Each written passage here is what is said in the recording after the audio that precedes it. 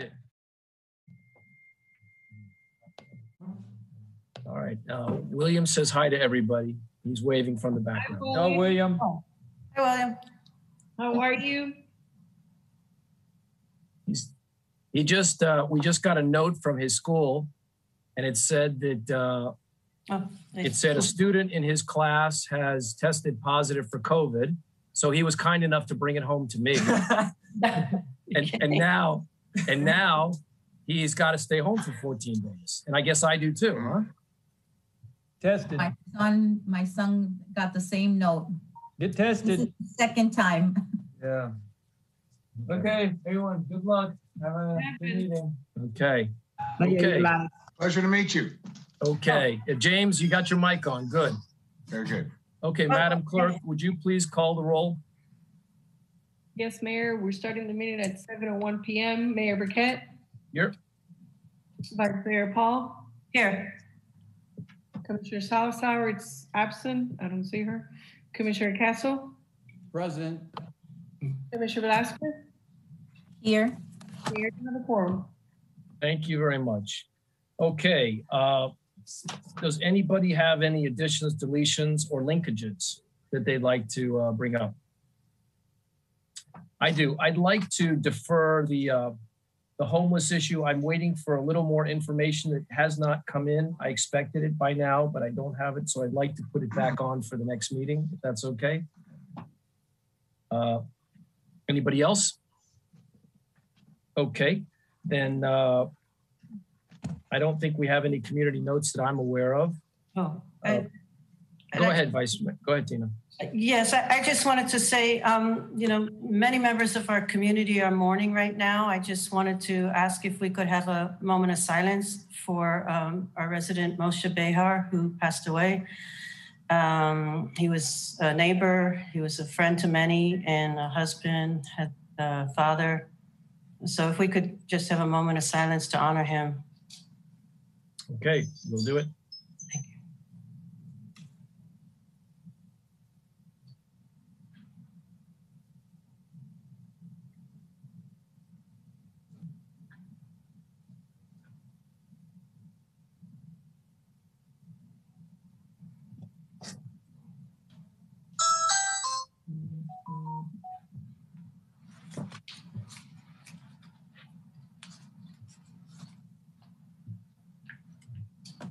Thank you for that, Tina. Yes. Uh, Is uh, Senator Pizzo with us this evening? Now, Mayor, we got a message earlier today that he had a conflict at, of scheduling right now. He may join us later, but he's not going to right now. So Okay, great. oh, uh, can I say something? You may. Uh, yes, I just wanted to, um, see if we also had FPL on the phone or on the line because there was, um, a couple of statements that were made, uh, regarding the undergrounding of the power lines that were. Okay, let's ask that question, Nellie. Let's see. Mr. Manager, is, is FPL on the line? yes, I, I've, I've verified that they are on the meeting. So we can Okay, allow great. them Well, in they're- when the time comes. They're, they're up uh, right after uh, your next item, which is uh, a presentation by the manager. Yes, um, it's no surprise, and it, it would probably been a, a lot more effective in person, but I want to present you with what you already have in your hands, your, your ceremonial check for your, your, your hard-earned dollar for the year. Uh, if you'd hold them up, so we could all kind of have a, have them recorded, but, uh, Oh, I didn't, I thank didn't you, bring. thank we, we, we all do. I'll be Thank right you back. we all do thank you for your work. So thank you so much for all you do. And I, um, um, I hope, uh, you know, the next year is equally as, as, um, prosperous for each of you. Does it, does it make a difference that mine's crooked and the vice mayor's is not? Yes, Uh, I, I, I, I know I did not prepare them. You'll have to ask All right. someone who did. All right, I'm, I'm coming, I'm coming over there. There's a Wait a minute. significant, lock the door. the mayor is especially prepared for him. Um, uh, I know you guys love me. Okay, thank Mayor, you, if I- Andy. If I could just introduce Jim, Jim real quick. There's Nellie. Very good. Uh, Jim McGinnis, our, our new building official. This is his second day. He has hit the ground running. Um, I've kind of pushed him out the nest really quick. Uh, but we're, we're really excited. Uh, he, uh, Lily dropped by yesterday and got to meet with him and we hope uh, to have an opportunity for you guys to meet individually with him and to get to know him a little bit. But uh, he's a welcome addition to our team. Welcome And we're aboard. really excited about uh, him being here. And I, I believe, you know, if, if you allow him to speak for 15 seconds, if he can, um, um, you'll find out how excited he is to be joining us. All of Okay. us. Jim, Thank you you. have the floor. Is it Thank Jim you. or James? Which Jim. one is it? Jim, to Jim, get us okay. here, you're building official. It's an honor and a great pleasure to be selected to serve the town of Surfside and serve each of you and the citizens and the contracting community out there.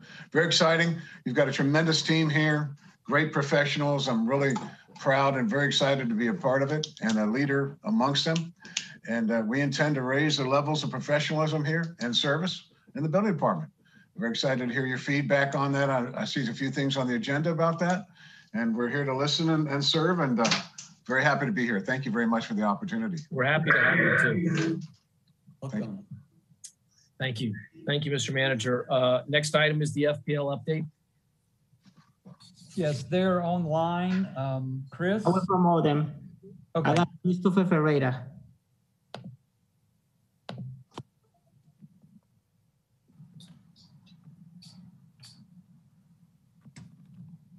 They're going to be discussing the undergrounding and um, kind of bring us up to date and give us a status report from their perspective and what the plan was from FPL and kind of answer a few questions that were really kind of raised from the senator's visit last, uh, last month. Got it. Chris, if you'll introduce yourself and your members of your team, please, sir. Hi, good evening. Can you hear me all right?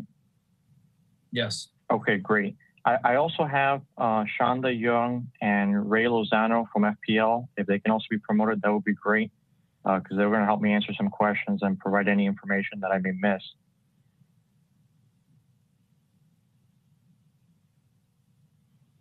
Okay, and while and while that's while that's happening, uh, good evening, Mayor, Commissioners, and Mr. Manager. Uh, my name is Christopher Ferreira. I am a Senior External Affairs Advisor with Florida Power and Light and I am uh, one of the representatives assigned to the town of Surfside. Um, thank you for the opportunity of having us on tonight and provide some clarification and some additional information as to the different programs that FPL has uh, that we're doing as part of our initiatives to deliver uh, clean, affordable, and reliable energy to our customers. Um, I think the, the most important thing is to say that there's two different programs that we're talking about here. And I hope that with what we'll give you, the information we'll give you tonight, will help distinguish and clarify the differences between the two programs and provide you the information that the town needs to make the best decision for your residents. Um, as I mentioned, there's two programs. There is what's called the Storm Protection Plan, which is uh, part of FPL's initiatives to harden and strengthen the electric grid, uh, as we've been doing for about the last 15 years, and make our service more reliable. And as part of that protection plan, there is a component that is called the lateral hardening slash undergrounding program. And it's important to know that lateral lines are not every power line that you see out on the street. They're broken up into two different categories, which are uh, on our distribution system, which are feeder lines and our lateral lines. Currently, the town of Surfside's uh, feeder to lateral ratio is about a little bit more than 50% of the lines are feeder lines, and a little bit less than 50% of the lines are lateral lines. Uh, under this program, which has been approved, uh, FPL does not only just uh, hardening, we harden and replace in, uh, electric poles. So we may put stronger wood poles or stronger concrete poles along our power lines. We also do vegetation management. We also do pole inspections and various other projects or programs that we have to harden the system. This program, as I mentioned, has been going on for a while.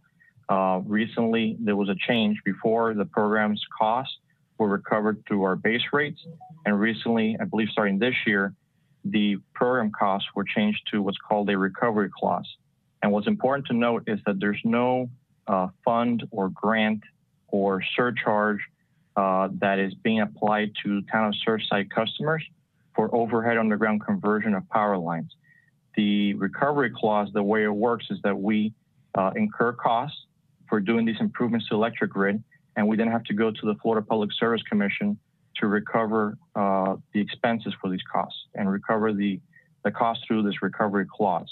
So I think that's important to mention. Uh, that is the storm protection plan. Now there's a separate program called the Overhead Underground Conversion Program, which is what the town has currently been working on with FPL, which is to take, um, which can take feeders and laterals, which is what the town is currently asked of FPL to design. Um, so to design all the feeders and laterals within the town limits and underground them.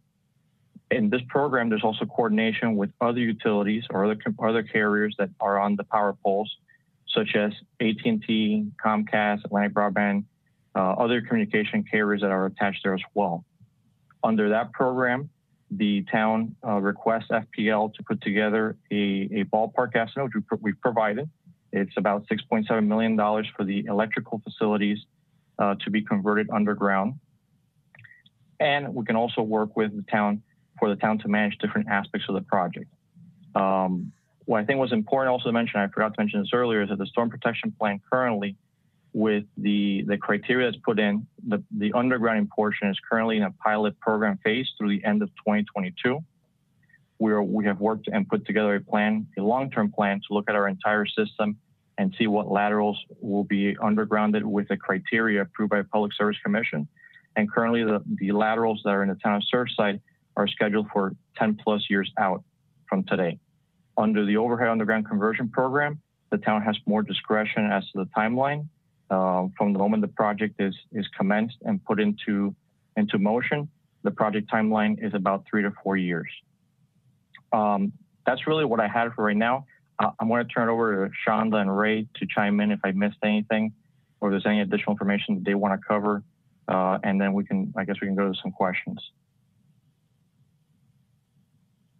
Okay, Shonda, your microphone is off. Okay, can you hear me now? Yes. Okay. Um, Chris um, really did a pretty good job of covering it. I will um, note that um, so the pro project that we re recently or have been um, working forward um, with your consultant Paul Abbott on. So up until now, we have provided a ballpark estimate for the undergrounding of all the facilities within inside Surfside, which include the feeder and the lateral lines. And um, at this point, we're at a, um, we are, the next step is to pay the engineering deposit and provide CAD files for FPL to proceed with the actual um, design of that um, and layout of that, um, that scope. That process takes approximately um, three to six months. Um, we provide you equipment locations, and then from there, we would then negotiate those locations, make sure everything's in a good spot. Then we would proceed with providing a binding cost estimate. So that's where we are in the process. There are a couple aspects that uh, Chris mentioned as far as managing the uh, construction component of it. There's an option for FPL to do all of the work, all of the underground work, and all of the overhead work. There's an option for the um, town to actually um, do some of the underground work. FPL would still do all of the uh, all of the overhead work, but some of the underground work could be done by the city. And typically that happens because you want to coordinate with all the other utilities.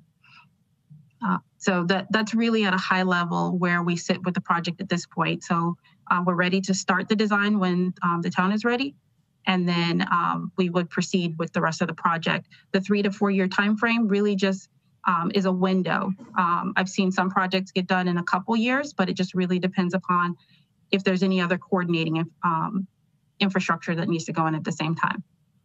Got it. Thank you. Uh, Ray, do you have anything to add to that? Uh, no, thank you. I think they did a great job um, giving an overview. Again, my name is Ray Lozano. Thank you for having us. Um, I'm the project controls manager for the lateral hardening underground program. So great. Okay, Nellie.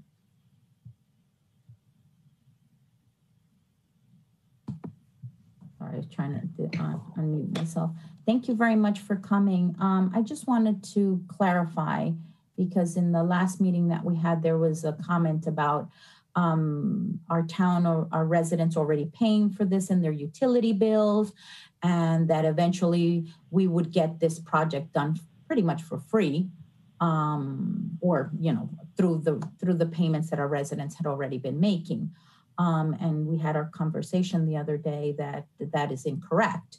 Um, I just want to make sure that that we clarify that um, FPL is not going to give us this for free, and that what is our timeline to be even considered for any of this. I, th- I think uh, someone mentioned the other day in our meeting, I think it was um 2037 to 2047 or something like that, 30, 40 years from now.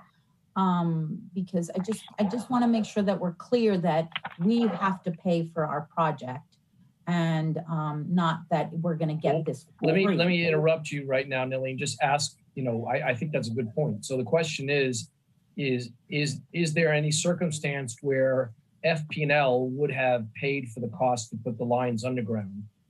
And uh, it was asserted at the last meeting that there potentially is a program that could do that. Is that correct? So uh, thank you for the question. And, and if I can expand further on what I mentioned earlier about the recovery clause uh, by which these costs are covered. So over the last 15 years, um, including going forward for the next uh, round of hardening, these expenses are incurred by FPL. We then go to the Florida Public Service Commission and present the costs to them and have to justify them. And those costs are then passed on to customers to be paid back. Um, all all 5.6 million customers for Florida Power and Light, all the way from North Florida down to South Florida, pay for uh, the hardening and programs and initiatives. Um, these are these were before included in our base rates. Moving forward, they'll be in a recovery clause, which is a a separate um, a separate portion or a separate uh, discussion that we have with the Public Service Commission. Now, the lateral undergrounding program, as I mentioned, will only cover laterals, right? So uh, a little bit more than half of the town is comprised of feeder or served by feeder lines. Um, under the program, under the storm protection plan, there are plans to underground the laterals, but not out until more than 10 years from now um, in our plan.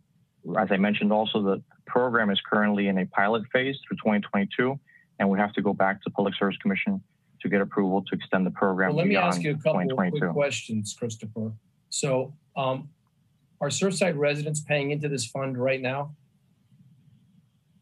It's not a fund. It's it's a it's a clause. It's a charge that's Okay, well, Added to let, the let me, let me rephrase that. Is the town of Surfside residents paying anything into the clause or the recapture fund, what, whatever it's called? all all FPL customers pay into the clause and into and to cover the cost for hardening. Okay, so if, if a town like Sunny Isles elects to, to move forward and they don't want to wait 10 years and they fund, I guess they're doing undergrounding, correct? The city of Sunny Isles Beach is currently in an overhead to underground conversion project. Okay, so with, res- and, and they're still, they're, they're obviously gonna, they're gonna fund that themselves, correct? Yes, they they are they have paid for portions of that of that Right. project, and there are additional phases that are underway that they will be paying for. Right. Are, are you guys paying for any of that? No. So as part, no, so but as part of our, as we have discussed in the past, and I will- believe it was last year, as part of our tariff, there is a credit that is applied to uh, the charges or the expense, I guess the the expense for the project that the town or the city paid, Well, and so that credit will be going. Applied. So that's where I was going. So if the residents of Surfside are paying anything into that fund, whether it's by tax or tariff or however, um, there will be a calculation should we decide to go forward with the undergrounding ourselves and not wait 10 years, where they would sort of, uh, practically speaking, recoup some of that money that they're going to be paying in the in the in the Well, form of a less expensive sort of uh, project. Sure. So so currently FPL's tariff has a has a credit that is applied to the the cost for the municipality's voluntary conversion from overhead to underground based on the scope of the project. And these take these credits take into consideration uh, the lower operating and maintenance costs associated with underground power lines. So that that credit will be applied per our tariff, which our tariff and all of our uh, costs that we charge our customers are approved by the Public Service Commission. so that so for the for the residents of Surfside, um, uh, after the conversion is done, they will have a, a credit applied against the tariff. Is that kind of what you're saying? No. Chris, do you want me to, Chris, do you want me to help with this? Sure, if, if you So- can, if you can better explain it. So there's two total, there's two separate programs. There's the overhead to underground conversion, and then there's the storm protection plan. The storm protection plan is the um, is the clause recovery. So as FPL executes work under that plan, we recover, we go to the PSC and we're allowed to recover through uh, that clause. So that's totally and separate from the overhead to underground conversion program. So when we go through the process of giving a binding cost estimate for the overhead to underground conversion program, there will be credits applied to the project and the uh, for overhead underground conversion that take into consideration the um, uh, cost to maintain overhead facilities versus underground facilities. So there's the two programs are completely separate. Okay, good. So that was Okay. the first program. What's the second program? No, the first program is the S, the storm protection Right. plan. Right, you talked about that. What's the second one? the overhead underground conversion program that we've been working with the, um, the town now on moving forward with, it's the voluntary program. So there's the voluntary program and the storm protection. The storm Right. protection will happen and the clause will recover whatever the PSC, um, approves. The overhead to underground conversion has its own set of credits associated with the program.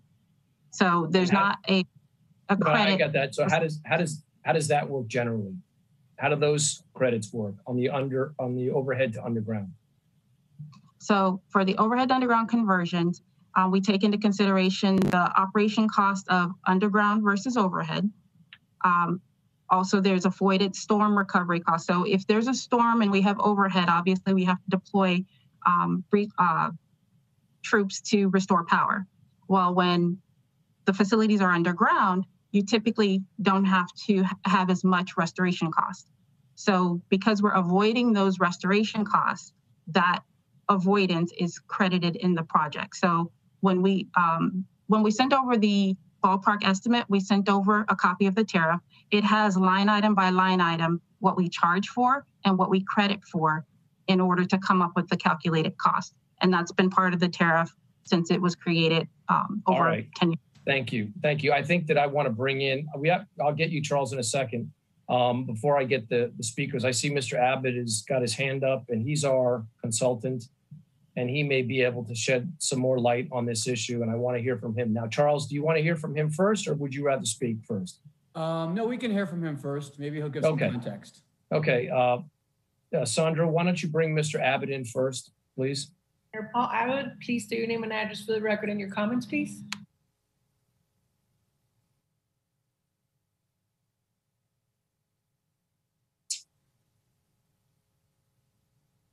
You can unmute yourself. Entonces, envío en. Did that, or is that work now? That works. Thank you. I apologize. I always struggle with these Zooms. I tried to do it on my computer and unfortunately I'm holding my iPhone in my hand. So you're probably all getting seasick from it bouncing around. It's Um, perfect, Mr. Abbott. You're good.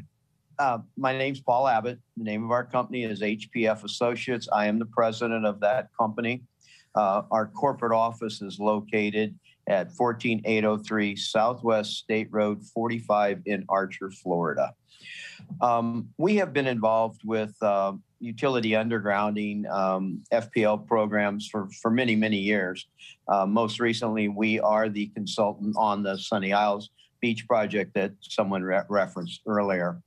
I think the simplest way to say this is what what what Shonda and and and uh, Chris alluded to. When you elect to do a conversion project, there are costs that, as as she said earlier, I think your ballpark estimate is somewhere six point eight million dollars. The credit that's being discussed is incorporated into that estimate or into the fees that the town will ultimately play, pay to FPL. It, it's it, in a round number, it's about 25%. Um, and that 25% takes into account depreciation of current FPL equipment that has certain value. You'll note that most of the equipment in the town of Surfside is antiquated. It's it's very very old. So there's very very little depreciation value in any of the equipment that they remove. But the simple way to think about this is that when we get an invoice from FPL for the underground to uh, uh, overhead to underground conversion, there will be a credit, and generally it runs about 25% of the value of the project. There are other, there are multiple ways to save money. Shonda alluded to it earlier. That's by the town taking on a portion of the work by putting in the conduit and the the the the the the concrete product, which are the foundations, are the chambers that the FPL equipment sets on. FPL only FPL are their approved vendors will then come in and install the conductor, install the equipment, the fuses, the switches, the capacitors, etc., and make the final terminations to make the underground system live the benefit to the town of doing a portion of them work themselves. And by themselves i obviously mean a bid project to certified contractors. I'm not going to expect randy and his public works crew to go out and put conduit in the ground. Is that we can use the technology where we can share locations. We can put the fpl conduit in the ground we can provide the, the, the prescribed separation between those conduit, and then we can put in the Atlantic Broadband, the AT&T, and the other low voltage providers in that same trench, eliminating multiple excavations for multiple utility companies. I, I don't want to get into too many details because it can be very confusing, but I hope that gives you a clear overview of how the town would approach a conversion project. It does. Mr. Abbott, why don't you stay on the line um, just in case uh, the vice mayor or commissioners have a question? Charles, go ahead. You wanted to make a comment? Yeah, yes, thank you, sir. Um, it's clear that, um, you know, as the residents of Surfside voted that we, we want the undergrounding. Um, I just want to make sure that it's done where we get the most bang for the buck and the best investment long term. Um, and long term is clearly um, inclusive of the storm protection and hardening program that's in effect now. And then it's inclusive of the overhead to undergrounding project that the regulatory authorities have yet to really green light. Um, so my question is, what is Surfside slated to get under the current storm protection and hardening um, um, um, initiative that's been approved? And when is that coming? If I may speak to that, am I still? Yes. Yes, At, go a- ahead. at, a, at a meeting we had last week with the manager and other staff and uh, FPL participated online, um, it was identified, and I believe it was Ray, who is currently on tonight, identified that the hardening uh, lateral project is right now scheduled for Surfside to occur in 2037 to 2047. So put that in perspective in in the time frame. I won't be here for that because I would be 100 years old come that time. Um, I I won't say that some of the younger members of your commission won't be around, but I would say that if you want to protect your community from the the, the ravages of hurricane storms, underground to uh, overhead to underground conversion is the prudent investment of resources. And if at a later time the Public Service Commission says, yes, the lateral program would in fact result because you went ahead and invested in the community. I'm not saying that is happening at the present time, but is there a possibility 20 years from now that the tariff configurations and all of the shared expenses could change? Certainly. Lobbying uh, efforts, the, the entire legislative effort could, could present money. But right now, the lateral program does not benefit the town of Surfside. Thank you. Uh, Vice Mayor? So Uh, I'm, Yes. I'm sorry I- if Oh, if, if I could just jump in for just okay, sure. one quick second. I- I'm sorry. I, I just want to clarify. So, so under the storm protection plan, the lateral hardening slash undergrounding program or pilot is a component of it, but there are other components of it as well. There's the pole inspection program, there's the feeder hardening program, there's the wood structure hardening program, vegetation management. All those are things or programs that benefit all customers throughout our system, right? So investments in hardening the system, which reduce restoration efforts later on, uh, reduce operation and maintenance expenses for FPL, or at the end of the day, pass along to customers in, in, in through our entire state, right? Um, and where I guess the biggest point is, is to separate that the overhead underground conversion program and the SPP program are two separate programs. The storm protection plan is funded through this recovery clause that recovers costs that FPL expense every year on the program. And then there's the overhead underground conversion program that has a tariff and a, a credit system that's applied to it, or that's, that's part of the tariff approved by the Public Service Commission. I just wanted to add that clarification. And to- can I to our just ask comment. directly to the FPL reps, is that true, what the consultant just said, that Surfside isn't slated to get anything from the hardening until 30, until 2037? Hi, this is Ray. Can you guys hear me? Well, hang on, let's, I think that question was to the consultant, to Mr. Abbott, oh. right? I was merely repeating what was said to me at a meeting last week. I would like Ray to address that comment, please. I was just gonna say the same thing. Please, Ray. Okay, go ahead, Ray. Okay, thank you. Uh, Can you guys hear me okay? Yes. Yes. Okay. Yeah, so based on the objective criteria from the Public Service Commission- Commission that they've blessed off, that helps evaluate which feeders are going to get worked on next based on worst performing, which laterals are going to get worked on next based on worst performing and on. Yes, the Surfside Normandy laterals are not scheduled based on the current criteria uh, until about that timeframe, 10 plus years out. That's correct. Oh, Just, just for fun, Ray, what, what areas would be scheduled for immediate attention? Well, Are they, it's- it's- are they yeah. non-oceanfront areas? well, it's it's objective criteria, right? So they look at they look at outage experiences that occurred during Hurricane Matthew and Irma. Then they look at the total number of vegetation outages experienced over the last 10 years. And then they look at a, a different subset of lateral and what's called transformer outages also over 10 years. They look at it from a feeder level across our entire service territory. And they it's it's it's it's a it's an analysis and it's weighted at the feeder level and that's how it's calculated so, i So mean i presumably, exact- so presumably Surfside's been less impacted than a lot of other areas.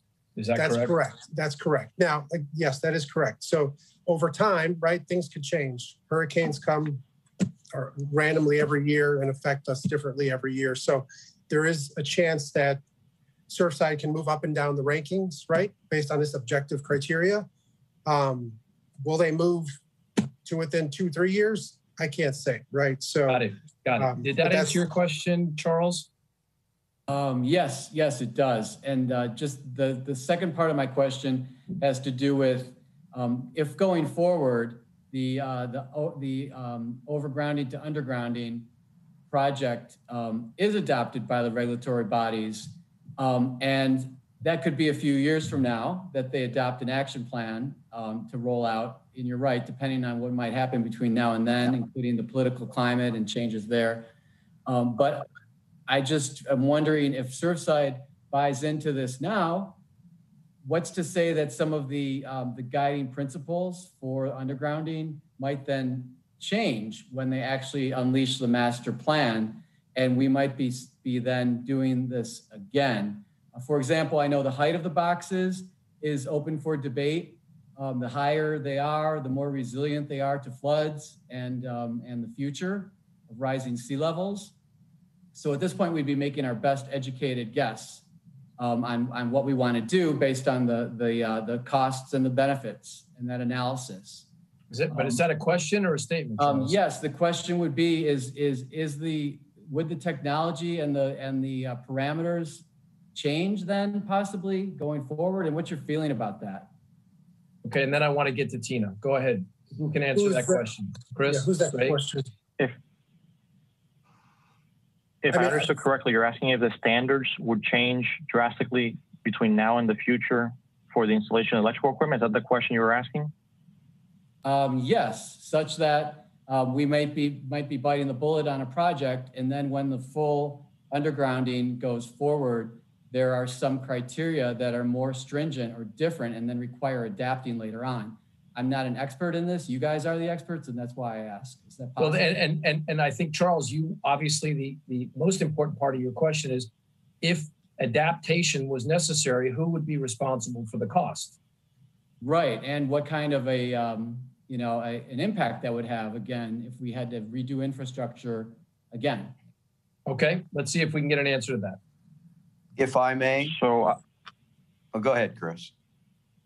I, I was just going to say, I mean, we at, at FPL and most electric utilities across the country follow the National Electric Safety Code, and there are standards that are set there that we have to follow. Um, I don't know that we can speak to how those standards will change in the future. I'll I'll defer to Shonda and Ray if they have uh, different thoughts on that. Um, but Shonda, correct me if I'm wrong. Once the system is built and turned over to FPL, FPL owns, operates, and maintains the system uh, going forward. Correct? Correct. So any- any any adjustments or any uh, improvements made to the system will be done by FPL, right? Yes. Okay, okay I think that answers I don't know if the that helps question. answer your question. I, I think that answers the question. Thank you. Uh, Tina, go ahead. Okay, thank you. Um, So my question actually is to uh, Mr. Paul Abbott. Uh, I just wanted to know uh, how, you know, I don't know how in-depth he's gotten into our project yet. And if he's looked into, I believe there were conduits put in underground during the um, water sewer uh, project that was done in 2012, 13.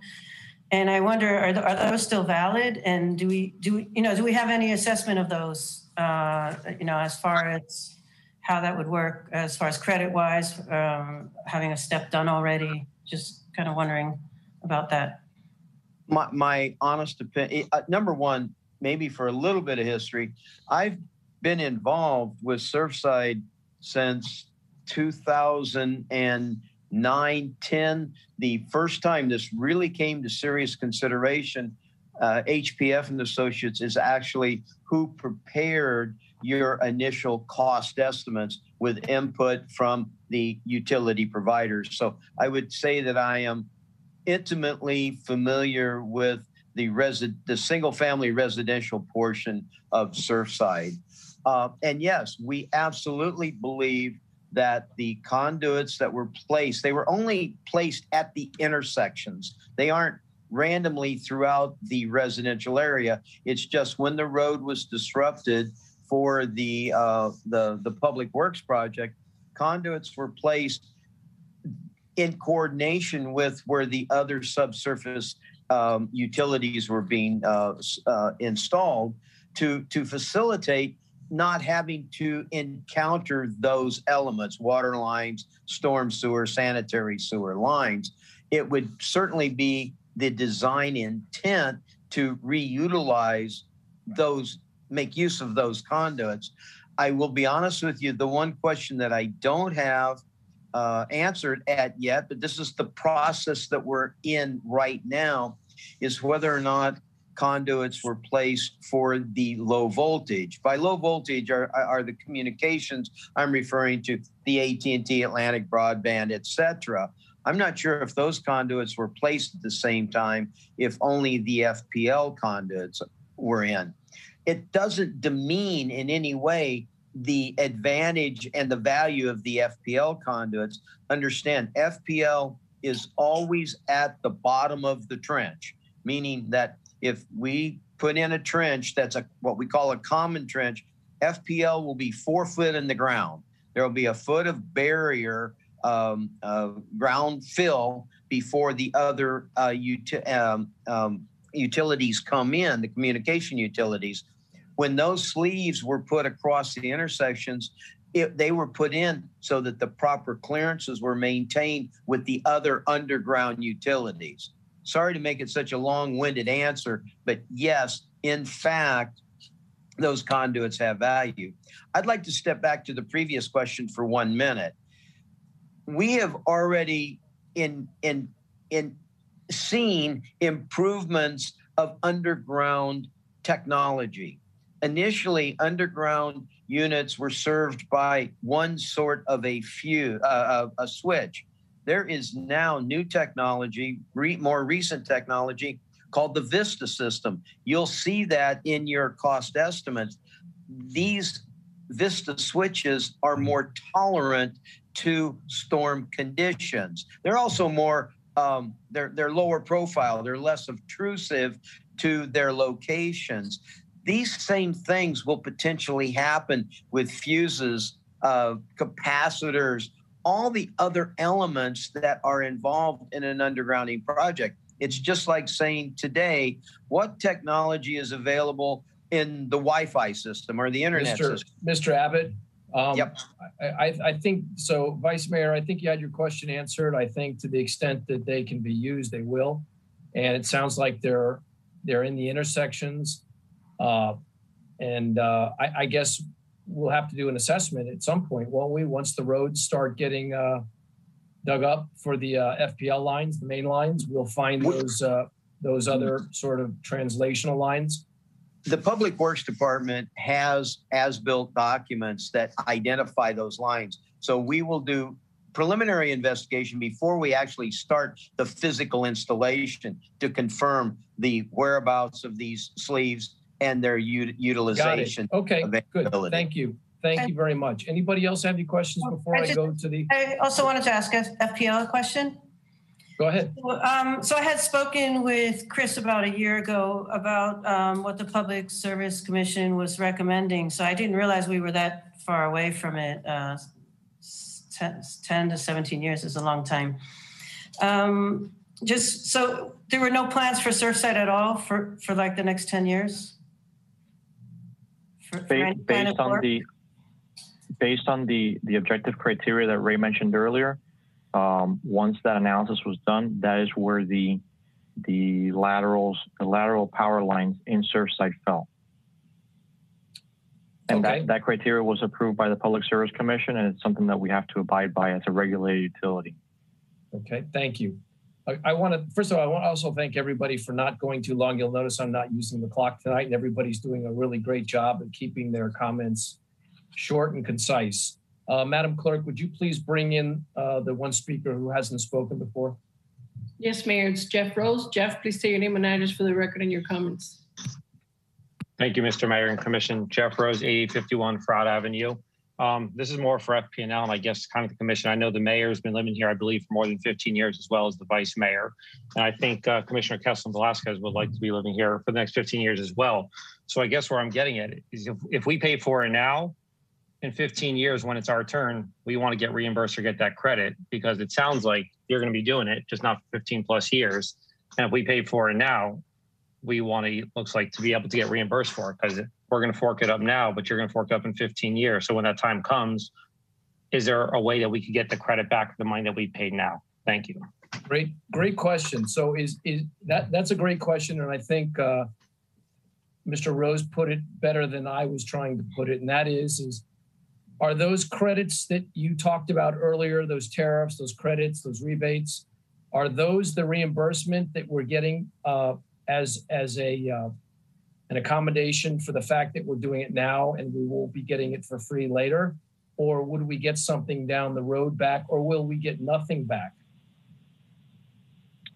So under the storm protection plan, there is no credit or reimbursement uh, mechanism. Under the overhead underground conversion programs we mentioned earlier, the tariff has included a credit system or a credit, uh, I guess, line item that will be applied to the project once we go through the detailed cost binding estimate phase, which is the next step for the uh, the project. And Shonda, I don't know if there's anything else you want to add to that. So to, to basically answer your question, um, as Chris just mentioned, the clause recovery is completely separate from the conversion. So the credits associated with the conversion, that line item, that's been that's part of the program, and it has been part of the program um, when we started this uh, process back in, as Paul said, uh, 2008 to uh, 2009, 2010.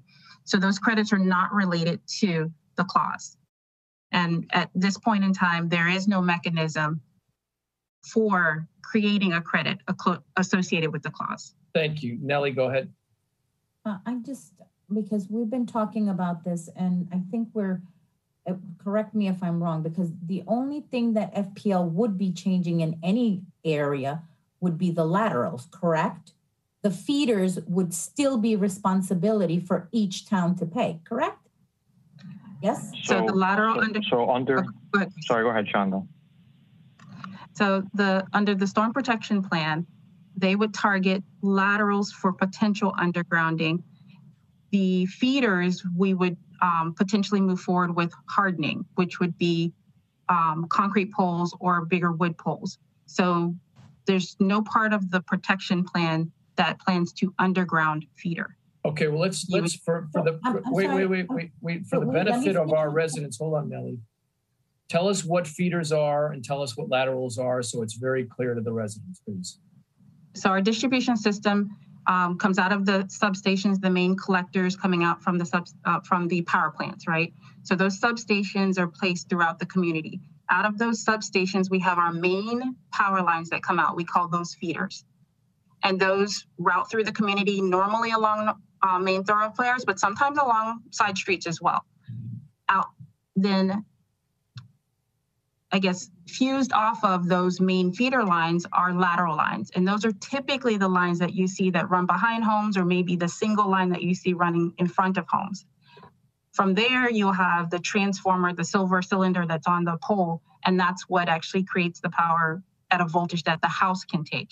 So you have the main feeder lines and then you have the lateral lines.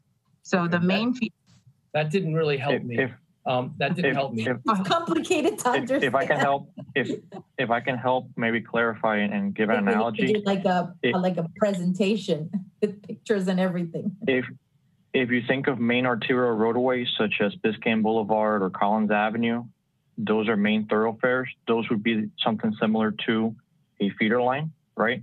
And then roads that branch off of those main roadways off of Collins or Biscayne would be something like a lateral. So if you think of the main thoroughfare, it serves many cars, it serves many thousands of customers on our feeder lines. And then off of those feeder lines, it branches off into smaller subsets or smaller Okay, lines well, that then service in neighborhoods. Christopher, we're talking about the residential area. So it sounds to me like what you just said, given that those are on Collins and Harding, that all of the lines in the residential area on the poles right now, those are laterals? You're considering those No. laterals? No, he, No, I was, I was just providing, uh, I was just providing an Okay, well, let's analogy. get real clear. to- Let's get real clear. Complicated. Let's get real clear. What I are the just providing an lines? analogy. Let me ask you, let me ask you a question. What are the lines that go up and down 88th Street that on the poles? What are those called? Okay, so just to back up for a second, I was just providing an analogy to help give a comparison to the road grid network that we use sometimes to help explain the differences between feeders and laterals. I was not saying that along Collins only feeders run.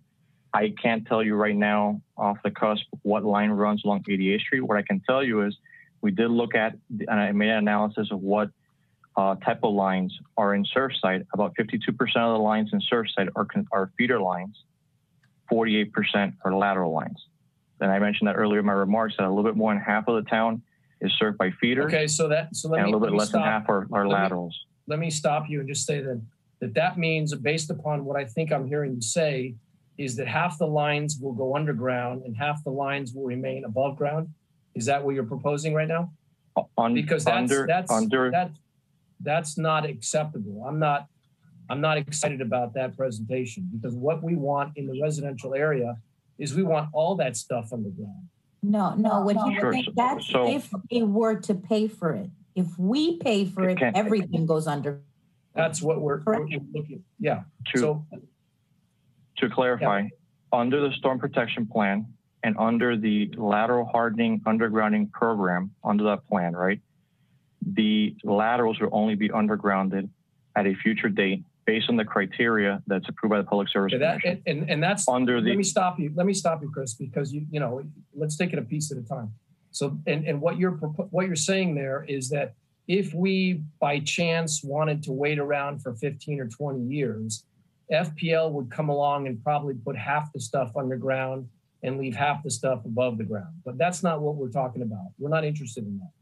We're interested in putting everything underground so that our, our residential area is beautiful and we don't look at the ugly poles anymore. So I don't think we need to talk about that option where we leave half of the stuff up and put half of the stuff on the ground because that's not what we're interested in.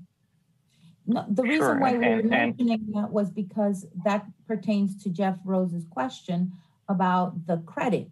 because what, what FPL is offering is only offering those lateral lines 10, 20 years from now. Correct. They're not offering to, to, to do everything that we won't see any lines anywhere. So that's the thing that I wanted to make sure that we understand that there's a difference between what they're offering 20, 30 years from now than what we are trying to. uh, That's a um, great point. That's a great right point.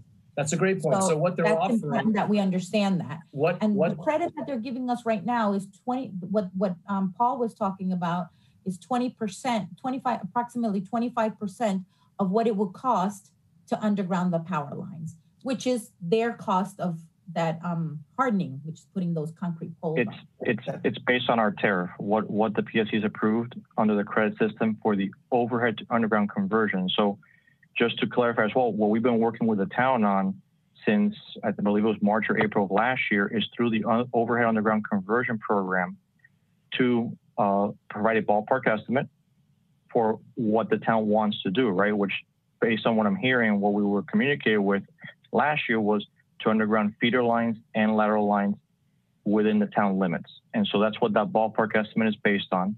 That's what the next uh, stage in the process would be for us to go through a design phase and Okay. develop a Okay. cost binding That's- estimate to provide you. that's good enough. That's good enough. Thank you. Okay, I Madam hope we all understood that now. Yeah, no, no, that's, that, that, it, yeah, it's really, it's been very, a little confusing, I should say. Listen, go ahead, Tina, and then I'm gonna get the speakers and then we're gonna move on, okay? Yeah, I, I just wanted to um, go back to uh, FPL and ask the question. Uh, Chris had stated that uh, once the undergrounding system is complete, FPL owns the system, and um, I'm just wondering how, do- how do we recoup uh, our, our credits? Like, uh, you know, I'm just wondering how does that work? So we build the system, uh, but it's your your equipment and you own it, and where does that leave us once it's done? For the overhead to underground conversion, when we calculate the cost, there's a cost to do installation of underground, there's a cost to remove the overhead. Um, as Paul mentioned, there's a uh, depreciated value that you get a credit for for the for the um, removal of or the the the facilities that are there. We also have a credit associated with the um, uh, with the if we were to build the system today at today's standard. So there's credits that are in it, and those credits are applied in the initial um, before the project begins. So for the overhead underground conversion, those credits will be applied on the front end. So whatever you pay will be the balance after the So, credits. so to answer your question, Tina, I think what I'm hearing is that our credit will be in the form of a reduced price at the outset. Is that correct? Yes. Okay, very good. Thank you. Does that answer your, que- anything else, Tina? Uh, No, that's all for now. Thanks. Thank you. Charles? Just a final question for me, then what does it take to move this to have a real plan? That's not just ballpark figures. Okay, I The think next- that that's, that's what we're doing with Mr. Abbott and FPL, correct? and all the other utilities. We are getting the binding cost estimate. We're paying the fee for the engineering to FPL right now and the other utilities who will do their designs. We will incorporate those into a common set of plans, and then we will have a full and complete cost estimate, what the project will be within several months. I, I won't tell you how soon, but, but within months, not years. Thank you. Thank Thank you, you. Paul. Um, Sean, I'll do in the do you want to clarify? I'm sorry. Hold on a I was gonna second, say- Mr. Christopher, hold on a second. Go ahead, Nellie. No, I just, I, the purpose of this was definitely to make sure that everybody understood that we're not getting anything for free. Um, we will be paying for, um, our entire project and we're gonna get credits, but it's not free and it's not gonna be free ever. Um, Well, I- and I think- thing. More than that, if we were going to get anything that we didn't have to pay for, number one, we'd have to wait for a decade, I think I heard. And number More two, half of the town would not be left, half of the town would be left above ground. Okay, all right, listen, Madam Clerk, please bring in the first speaker. First speaker will be Deborah Simadevilla. Debbie, please state your name and address for the record and your comments. Good evening, everyone. Can you hear me? Yes, good evening. Hi, thank you for this wonderful meeting of minds.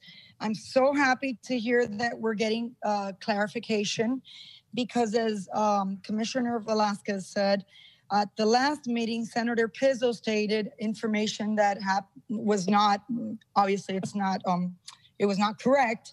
And I posted something on Nextdoor and a certain resident started putting information out there that just caused more havoc and confusion. Um, and as I stated on that post, we need to get all the facts. So I'm very thankful that you guys are laying on the table all the facts. Now, from what I'm listening to, you guys have come to the clarification that it was very helpful. That that's, by the way, it's very confusing for most people out there because they hear different terms: storm protection plan, lateral program, hardening program.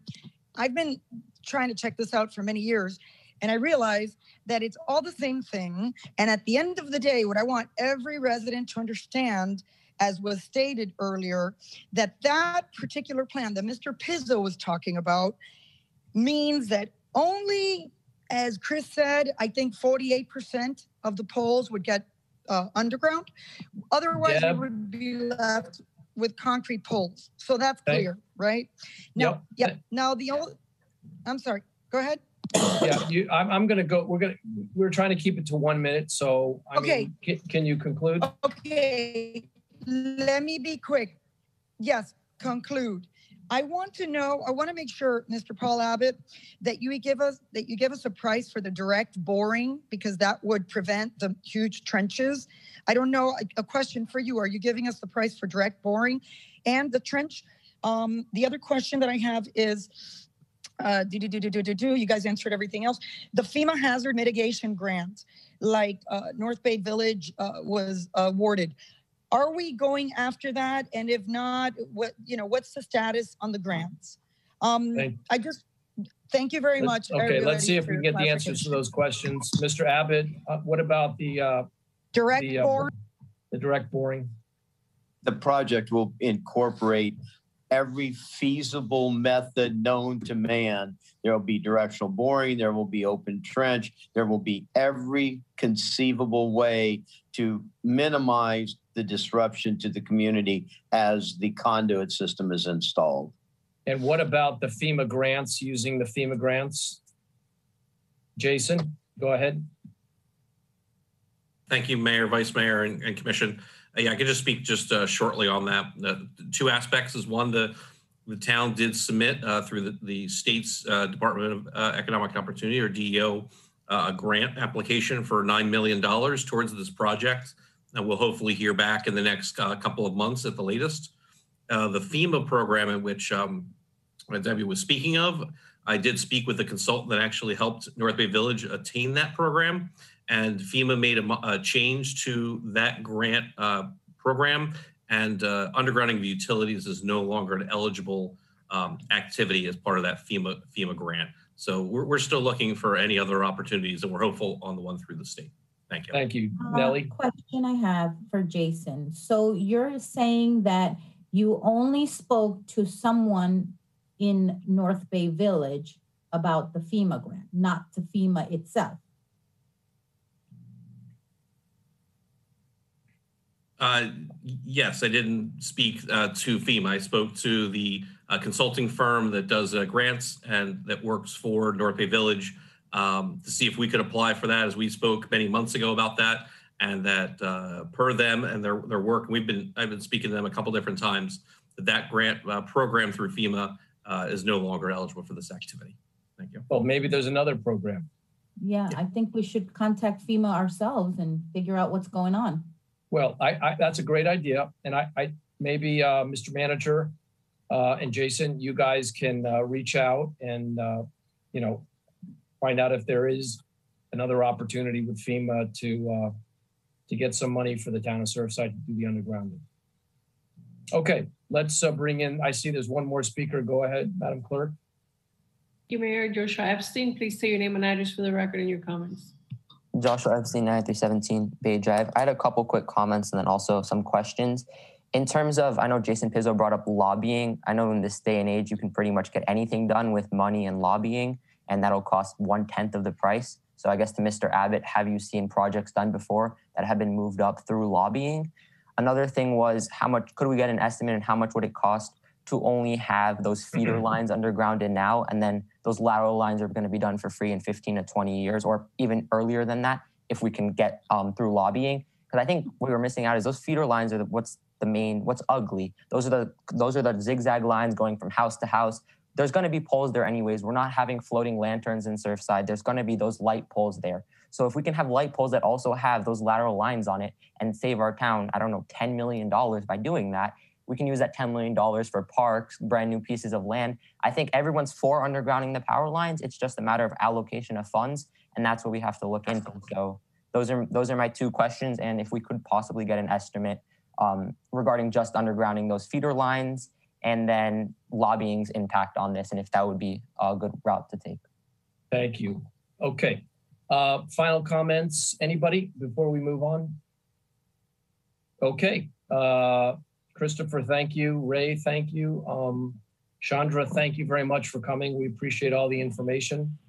And uh, hopefully we can, and Mr. Abbott, thank you very much for uh, representing the town and uh, making sure that we get the best deal that we can get. I know you're working hard to do that. Okay. Uh, the next item on the agenda is the consent agenda. Does someone want to move that? Make a motion to move that forward, Tina? Okay, I was muted. Wait, um, I had some corrections to the minutes that was, uh, sent to everyone through the clerk. Um, okay. So I, I Well, can move Then, the, then I, I suggest you pull them um, so that we can, we can go through them individually, just to make sure it's okay, rather than go line by line right now. Which, which Okay, minutes did sent you? For everyone to, to review, so. Which, um, which, Yeah, Mayor, Yeah. we circulated them yesterday, actually. I'm sorry? We circulated them with the members of the commission yesterday with highlights of the changes. I, I, I, okay, I didn't see them, so. Okay. Um, let's, let's, if it's okay with you, Tina, let's put it on for next month. And I'll take a look at it and everybody can have a look at it and then we can approve it with next month's, uh, agenda. It, what, which minutes are they? Uh, it was a couple of them, uh, you know, it was just uh, a couple of words here and there and. But it's all right. Which minutes were they? Oh, well, let me look at the email I sent, because I, offhand, I don't know. Because we've got, we've got one, two, three, four, five, Yeah. six days. I mean, it was several of them. Uh, let me see. All right, well, listen, it doesn't matter. We can put it on for next month. I'm not, There were amendments done to each one of them. It Oh, was there the- were? to the zoning code workshop of February 4th. All right, thank you. Regular Then- Then commission let's, meeting. then, okay, Tino, you don't have to list them all. Let's go. Oh, you let's asked me, so that's why I was going through. Let, which ones. let's pull, let's pull them all, because you said they're all, they're all edited. Not all of them. I don't think so. Well, It's- I just heard, I just heard the clerk say yes, they're all edited. Mm, it was, Okay, there's three edited. Two of them. It was the February 4th, the February 9th, and the February 18th. right, it's those three. Okay, well then, you know, that's seventy-five percent of them, so Well, let's, I I mean, I did it ahead of time so that, you know, I sent it through the clerk uh, first thing Monday morning. So well, Tina, I- that's fine, that's fine, but I didn't get to see it. So I, I don't wanna, I can't vote on it if I didn't see it. So is there any objection to putting it on with the next meeting? No, not at all. Not at all. Okay, so let's move that to the next meeting. What else is on the consent agenda, uh, Sandra? The, just the town manager reports and attorney report, the boards and committee reports, and the limousine of South Florida. All right, does someone want to move that? Yes, I'll motion to Okay. move that All right, forward. is there a I'll second? that. All I'll right, second any discussion? Madam Clerk, would you call the roll, please? Commissioner Kesl, Yes. Commissioner Velasquez, Yes, Vice Mayor Paul, reluctantly, yes, because it's a lot of work for the clerk to have to read, put that in there again. It's a lot of pages of paper. But, uh, you know, I'll Well, say yes. doesn't, actually, it doesn't have to be in there again. All we need, I just need the, uh, the package that, that was sent to review. We So, will add it to the next agenda, Mayor. yeah, the clerk is not even complaining. yeah. I don't think, I don't see it as a big deal, Tina. All right. So- well, Okay. Mayor, How are you voting? Reluctantly, how? No, I said Reluctantly. reluctantly, yes. Reluctantly, yes, okay? Mayor Go Burkett, ahead. Uh, reluctantly, yes. Mayor, the motion carries. All right, thank you very much. Okay. The next, uh, I think we're up to resolutions 5A, uh, community digital sign authorization to expend. Would you take us through that, Sandra? Resolution of the Town Commission of the Town of Surfside, Florida, approving Don Bell Sign LLC for the installation and maintenance of two community digital signs, finding that the work is exempt from competitive bidding pursuant to section 3-137F of the Town Code as public works purchase for town facilities, authorizing the town manager to enter into a necessary agreement for such work, providing for implementation and providing for an effective date, item five A. Thank you. Is there a motion to move that forward? I'd forward? like to make a motion to move that forward. Okay, is there a second? Second. Okay, thank you, Tina. Discussion, who would like to go first? I'll Charles, definitely had your- on this first. If you, don't, You, you hit the mind. buzzer first. Go ahead. Um, it's um, you know, it's a shame that there was that this wasn't bid competitively. Um, but why I can't support this is that this is not like a sustainable um, or remotely resilient approach to our digital signage. Um, there are many sign vendors who can meet the criteria of actually getting the sign. But to me, the most important thing is how the software integrates to make it resilient and sustainable and flexible when used under COVID, under an emergency, or just for everyday use. And there are many even freeware and shareware solutions in the digital signage world, um, even using something like Google um, Chromecast to push to our signs. Um, digital signage is very prolific at um, you know everything from restaurants in the private sector to certainly the uh, the public sector as well. And this particular solution is um, is a, a retro type of interface where whoever needs to update the sign has to go to the sign and program it like like a TV. Um, and that's the only way to get the media on there.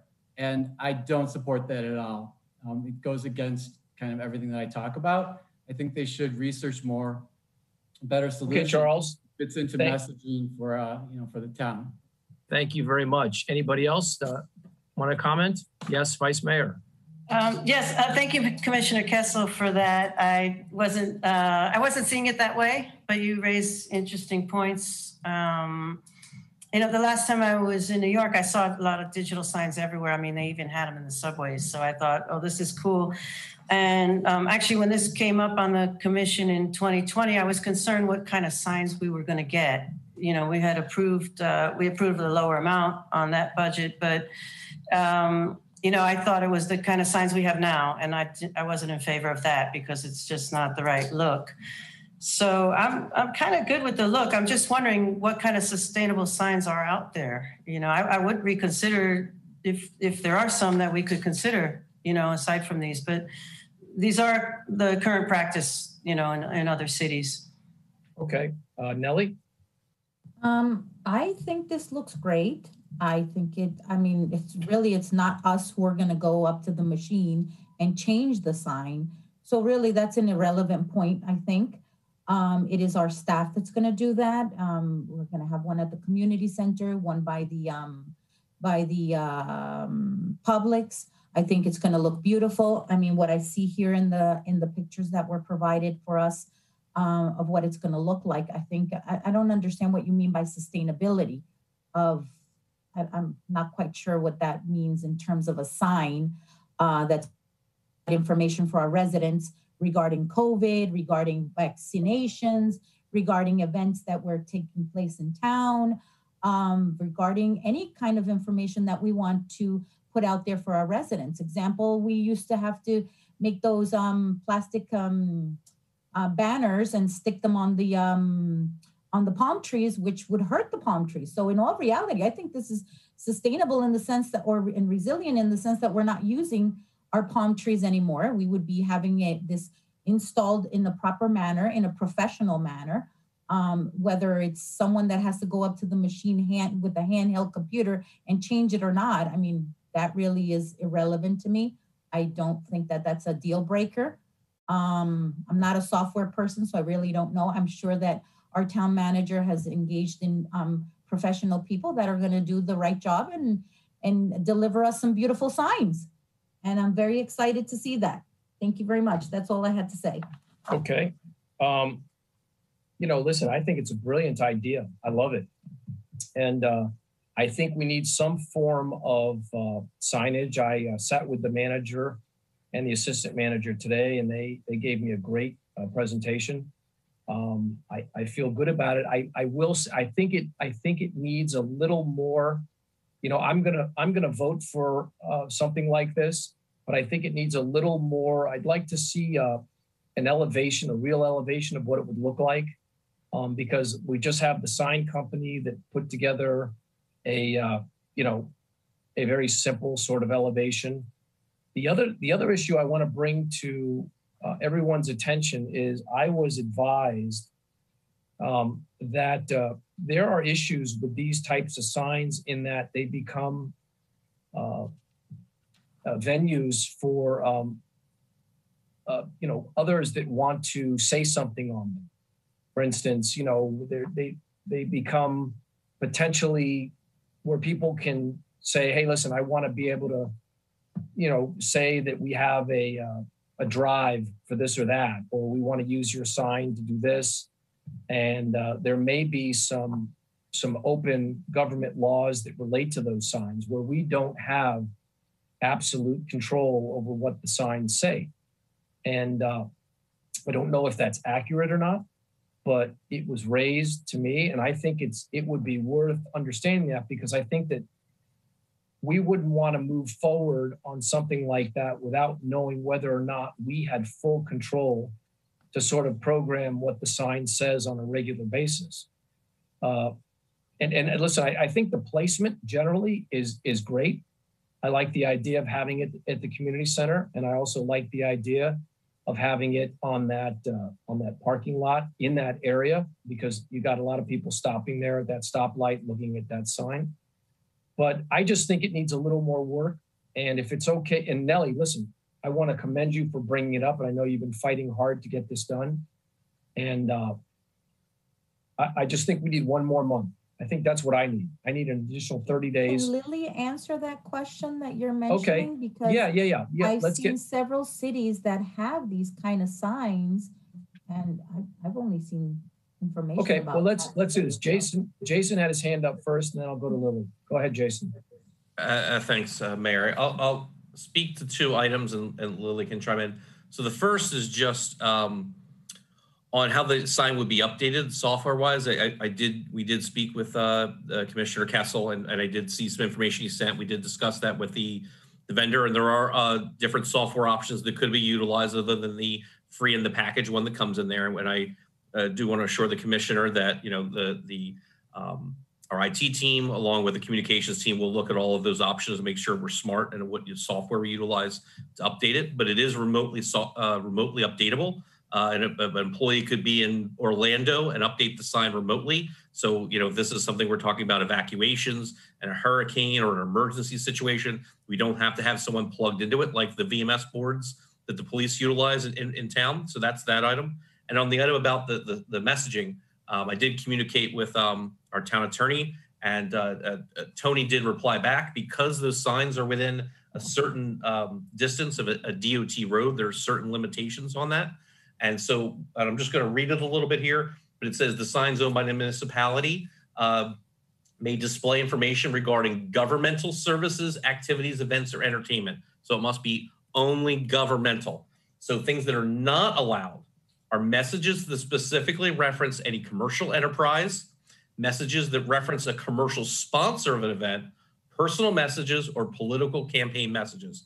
And so we are hedged in by that state law, whether we were interested in it or not. Um, they, they must be basically, you know, come to the family fun day, tune into the commission meeting, but it can't be even happy birthday messages or or things along those lines. And, and Lily, I don't know if you want to add anything to that, but Yeah, that's, that's correct, Jason. We did look at it. Um, This is a municipal sign and it should be limited to government or public messaging only. No commercial advertising or private displays of any kind. And as long as you stick to those parameters, it should be fine. I'm not aware of any issues, Mayor. Yeah, that that was the question, and it it, came from a uh, a uh, someone who runs a, a, a city nearby, and it was just that uh, you know just be sure you look into it because uh, you know there are there are issues that could be, that could come up. And like you said, I think it's public use and I don't know to what extent that means that we maintain full control over what the sign says as a put, you know, again, I, I don't want to slow walk this item at all, but I do think uh, if we, if it was okay with you, Nellie, if we could take another 30 days because to hash it out and get some elevations, uh, I'd like to see what it would look like. But like elevations in what sense? I'm not. Well, sure I, I mean, we're what we've about. got is we've, we've got the, uh, the sign company taking a picture of the wall and taking that sign and putting it like on top of the wall. I mean, that it, uh, I, I think that it would be, and again, I'm, I'm not quite sure. We, we want to know exactly where the position was. Um, and we'd want to, I, I want a much wider picture, like a realistic to scale, where we could definitely, you know, say, okay, well, that's where the sign's going to go, and we don't end up with the sign 10 feet over here. It's more facing the side street rather than the main street. But listen, I think we need to do it. And if we can sort of check the boxes and make sure that we don't lose control, control over the message, that that is uh the biggest concern I have. And, why and Charles, I'll get you in a second. Just let me finish and- And those details that you're talking about can be, um, can be tweaked later on. I mean, the point is to get this sign and I, I, I, really would not want to wait any further. Um, especially that Jason has really answered everyone's questions here. I mean, uh, Jason, are these gonna be on just like right there on top of the wall? No, they're gonna be placed with hurricane impact, um, Unless, I, I assume that, Nellie. I, I assume that. I'll tell you what, more my concern is I want to see how it really looks in an architectural rendering. You know, because right now we just got the sign guy kind of putting the sign on top of the wall. And I, I'm not sure exactly where on the wall it's going to go. And uh, I, I think we just need to take a couple more steps. But go ahead, Charles. Uh, Thank you, Mr. Mayor. And I, I agree with you that all these things are very important, the timeliness of it, um, having it function, having it look good, and of course, the messaging has to be legal and proper and to the point. Um, But, you know, quick research, and I I appreciate Jason addressing my concerns because quick research show, show that this is a very kind of common issue where people are facing the same, same issues that, and concerns that we have, which include security, um, but also my point about sustainability is the usability, the access, so that whoever is in charge of our communications isn't saddled with yet another technologically challenged system that the town adopted that that isn't useful when the when the when the uh, the tires hit the pavement. Um, and those issues are very much front and center in terms of the conversation of choosing the best software. So the breather would allow Jason to take a look at what the software options are. Um, but the notion of a town staff person during COVID or during a storm changing a message in the rain or the flood, probably, you know, that's like the that's like the era of Pong. Sorry to be blunt, but um, you know we're way ahead of this. And as long as it does have um, it does have you know the remote control access, like Jason said, um, you know. But then the next question is, what standards standards is it using? Is it open source, or are we buying into some closed source proprietary software that the town is going to have to be stuck with for generations or as long as the sign lasts? So those That's that that is a, and, and Charles explain that a little further because that means that if we don't pay the this particular vendor forever, um, that the sign stops working because we might not get software updates or or or something like that. So Yeah, yeah, correct. your point your your your point your point is good. Listen, but I think these guys are open source is the right direction because it will allow flexibility going forward and integration going forward. but I think I think the guys are on it, and I I think that uh, sounds to me like they've done their homework.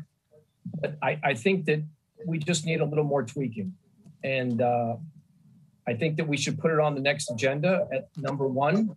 Okay, number one, Nellie, and that way we can we can nail it at the next meeting. Go ahead. But can you, can you kindly ask exactly what you'd like to see on the next agenda? Because. Well, I, exactly. I mean, if you really, I'm sorry, if you really look at this, um, page one forty-two, it gives you the exact location. It tells you how it's gonna be put on there. It tells you what materials they're using to put on there. So I'm, I'm just a little confused exactly what, what, what what Let we're me, looking. let me just say, you're right. The, So if we can make it a clear, a clear, uh, guidance to the town manager so he knows exactly what to bring back next Let month. me, let me answer your question.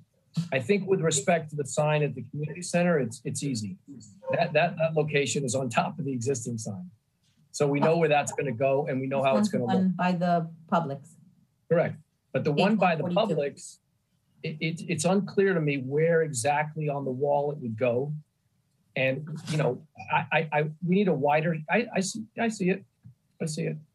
But we need a wider shot than that to show us, you know, exactly how it would look from a distance. Yeah, I see that too, but that's a close-up shot. And the other one is, is a very small picture. The first one you said a wider, and the second one is a close, okay? No, no, but the- the- I'm the- just a little confused exactly what you're, what you're asking, because it's right here. it's Can, can I speak again? Yes, go ahead, Tina. Thank you. Um, so yeah, during the, um, my meeting, my, uh, discussion with the manager, I did have a few, uh, two reservations. Um, one was kind of minor, but it had to do with the landscaping because on page one forty-two, it mentions removal of the bushes and I just, and that's a sustainable issue is that we're removing them, but are we putting them back? I hope so, that we're not just, you know, so that's one sustainable thing. That's minor. Um, the other thing was actually the location, uh, the next page on page uh, 143, the location of the sign by the community center. Um, initially, when when uh, we had previously uh, put put out to have signs, you know, definitely 94th Street. I have no problem with that location. But by the community center, I'm, I'm also curious how that's going to look because it seems to me that it's too um, set back so that um, you're, only people walking by are going to see it. The cars stopped at the light won't necessarily see it because of where it's placed. And uh, I, and I think, Mayor, you remember when there was a community sign, it was on the other side of the street by the town hall parking lot.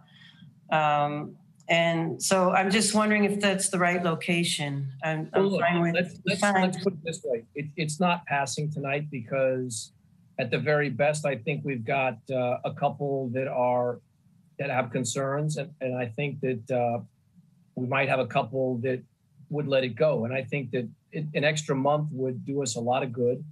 It would let us, you know, look at those issues. I am concerned. I want to get a rendering. I want an architectural firm to do a rendering. And uh, you know what? Let's look at the sign at the community center and, and address Tina's concern. Let's. I'm going to drive by it again.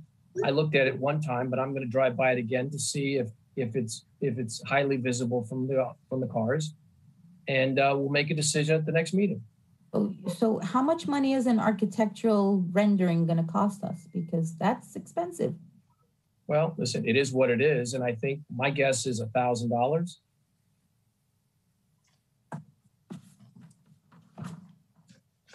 Yes, Madam Clerk. Mayor, just for the record, there's actually a motion and a second on the table, so I will need the motion to be withdrawn. Uh, I Well- will withdraw it. Okay. All right. So the motion is withdrawn. Um, Oh, wait, I was a second. I withdraw the second. Okay. The second is withdrawn. Um, Charles, what are your Sure. And, uh, and thank you, everybody, for listening. I mean, this, this, this, these types of things may be new to you in terms of choosing the, like, the best software. But, um, anybody's welcome to go to like digital signage softwares, software, do a search on any app.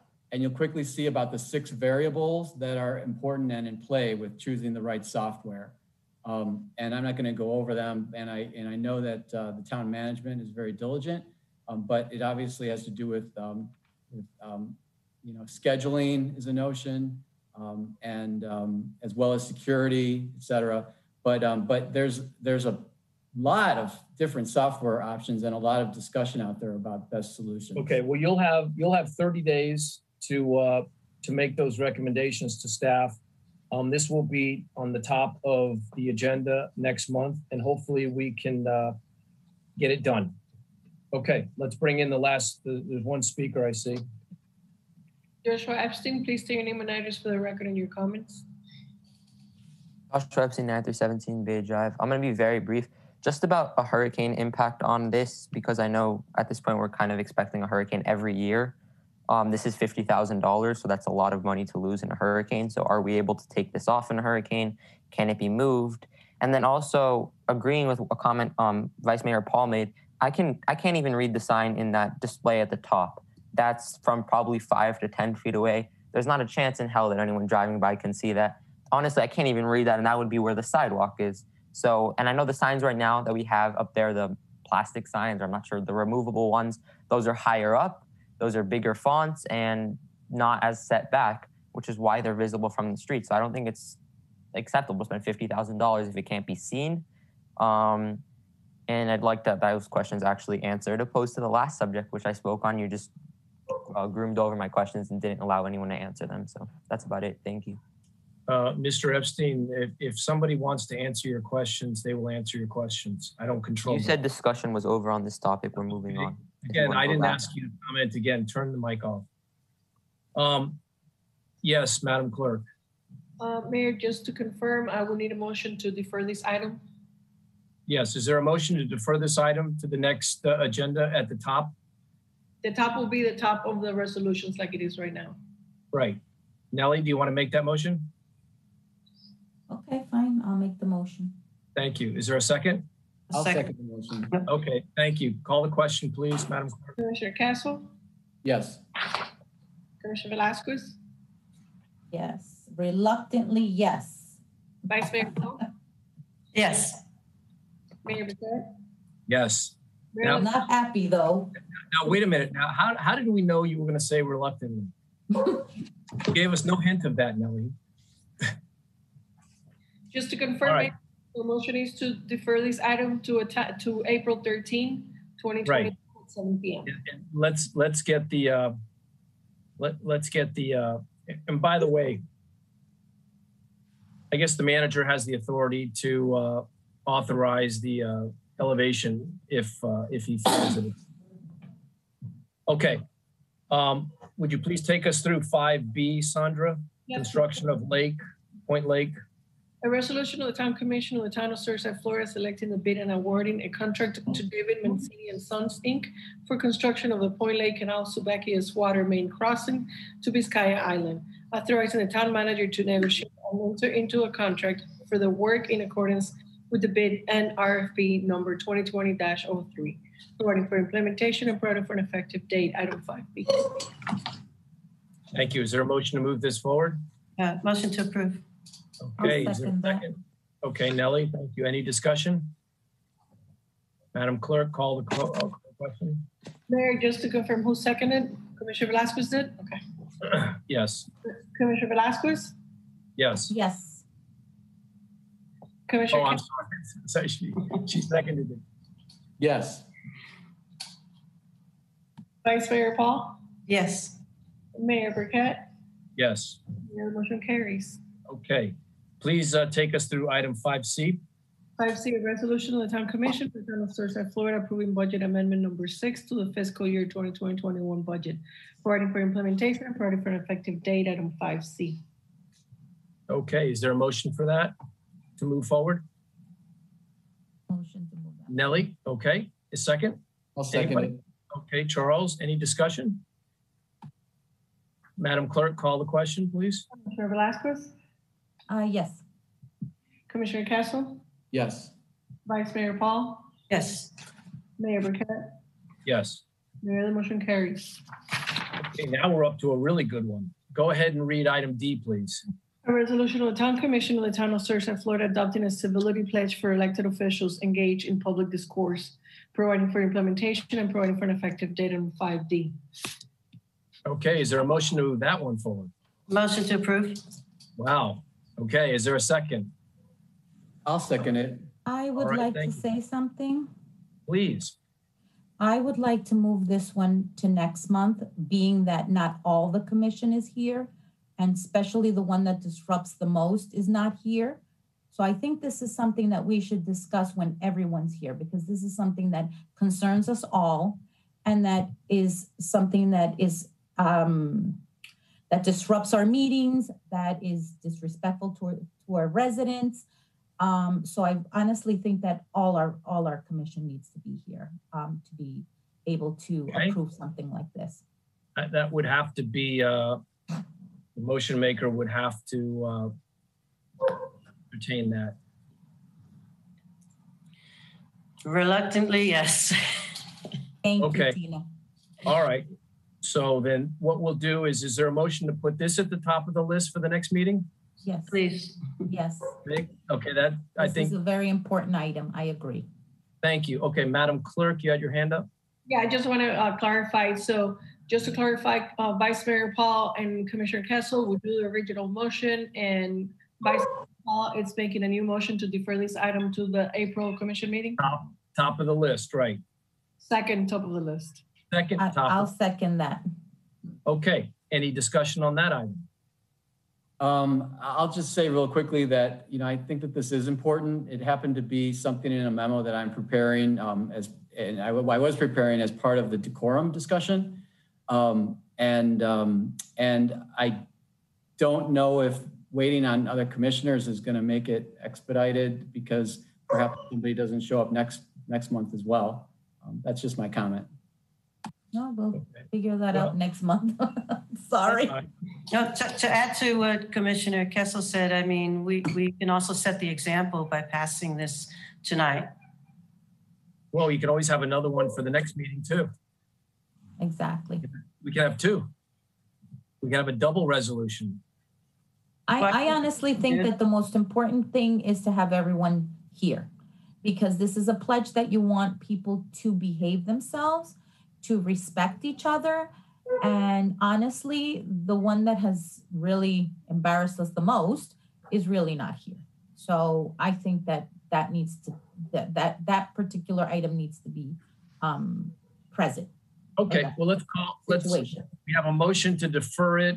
Um, I see there's somebody with their hand up. Go ahead, Madam I'll, Clerk. I'll, I'll, um, second Tina's motion to defer. All right, well, yeah, we have a motion on the table. We're, let's, let's hear from the audience now. Go ahead. Joshua Epstein, please say your name and address for the record and your. Joshua Epstein, 9317 Bay Drive. I mean, I'm obviously aware that we're deferring this. Why is the clock set to one minute instead of three minutes, just out of curiosity? Because we're only giving one minute.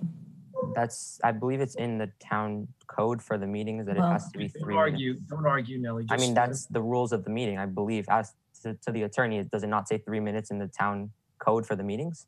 I don't think anyone gets to choose how long they speak for.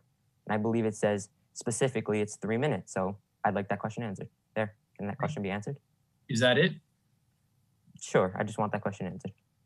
Thank you. Okay, uh, we have a motion on the, on the table. Please call the question, Madam Clerk. We can't hear you, Sandra. Your microphone. Sorry. Commissioner Velasquez, Yes. Commissioner Kesl? Uh, yes. Vice Mayor Paul, Yes. Mayor Pat, Yes, Mayor motion carries. thank you. Uh, we're up to item E. Would you please take us through that, Sandra? Yes, Mayor, resolution of the Town Commission of the Town of Surfside, Florida, urging Governor DeSantis to increase COVID-19 vaccine allocations to Miami-Dade County in order for the town and other local governments in Miami-Dade County to meet vaccine demands among vulnerable community members, providing for transmittal and providing for an effective date item 5E. Okay, thank you. But before we go any further, we have Senator Pizzo on the line and I just wanted to see if he wanted to say hello and, and, and give us an update on anything that might be happening at the state level. Can you bring Senator Pizzo in, please, uh, Jose?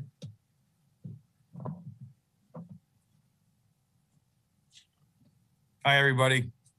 Hi, how are you?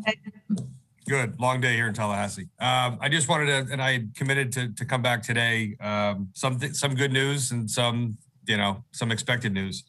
The governor has announced a billion dollar resiliency plan. So I, as I've been encouraging other cities and Mayor Cava, who came up to visit this past week, it's really important to try to get on board uh, with each other in a regional and individual format to find out what our proportionate share would be. It is directed entirely towards calls it resiliency, but it's really for infrastructure. So hint, hint, these are things obviously that are of paramount importance to us more so than, than other inland communities. Um, and the DEP is also um, available and accessible on, on that level. Uh, in short order, we have the Airbnb bill coming up. It is going to be in a committee that I sit on uh, two days from now. Uh, we, we've made some amendments and some headway on trying to uh, curtail a lot of the preemption that, that comes along with it. And um, I see that you have a resolution pending as relates to, to COVID vaccine and availability. Not exactly the most efficient uh, rollout, uh, and things are, you know, kind of all over the place and a lot of misinformation. But uh, I urge anybody that's in a situation that believes that they have an emergent situation or they're vulnerable to please reach out. We, we have had no problem whatsoever uh, getting people vaccinated that qualify under whatever the moving target is. Um, and and I haven't been vaccinated yet. I'm not opposed to it. We've done PSAs for people to be vaccinated. But if you have people that are homebound, we can get we can get them vaccinated. If you have people that are uh, that have issues and then need any information, even on, on variants. But uh, happy to answer any questions. Um, we're in the, Senator, what about the infrastructure? You know, we're trying to get our houses lifted up so they're out of flood danger, and we're, we've got. I've actually got one resident who's ready to go, and I know that there's many, many more behind him. Um, is there a way we could get some funding to do that in Surfside? So the, the the importance of the announcement of the governor's funding, and then of course what we're requesting at the state level, is to triage priorities. I will tell you that the most emergent circumstance is a rip up, repair, and replacement of sanitary sewer concurrent with getting off of septic. Now that doesn't apply to Surfside. I know that's not happy news, but uh, you saw the recent fish kill we had in Biscayne Bay. We have a really dire situation. It's it's not really public yet, but I don't mind telling you anecdotally. The former water and sewer director for Miami uh, for the Miami-Dade County bought a house himself in my district, and when he went for a, a septic inspection, I'm told the guy came back and said, "Sir, there's not a septic tank in your backyard." So right now, it's it's uh, it's septic, it's a nutrient levels and all that. However, like we talked about with FPL, uh, I want to connect your city manager, clerks, and attorneys with with DEP because they're going to have their own sort of triage of issues of what they find to be to be important.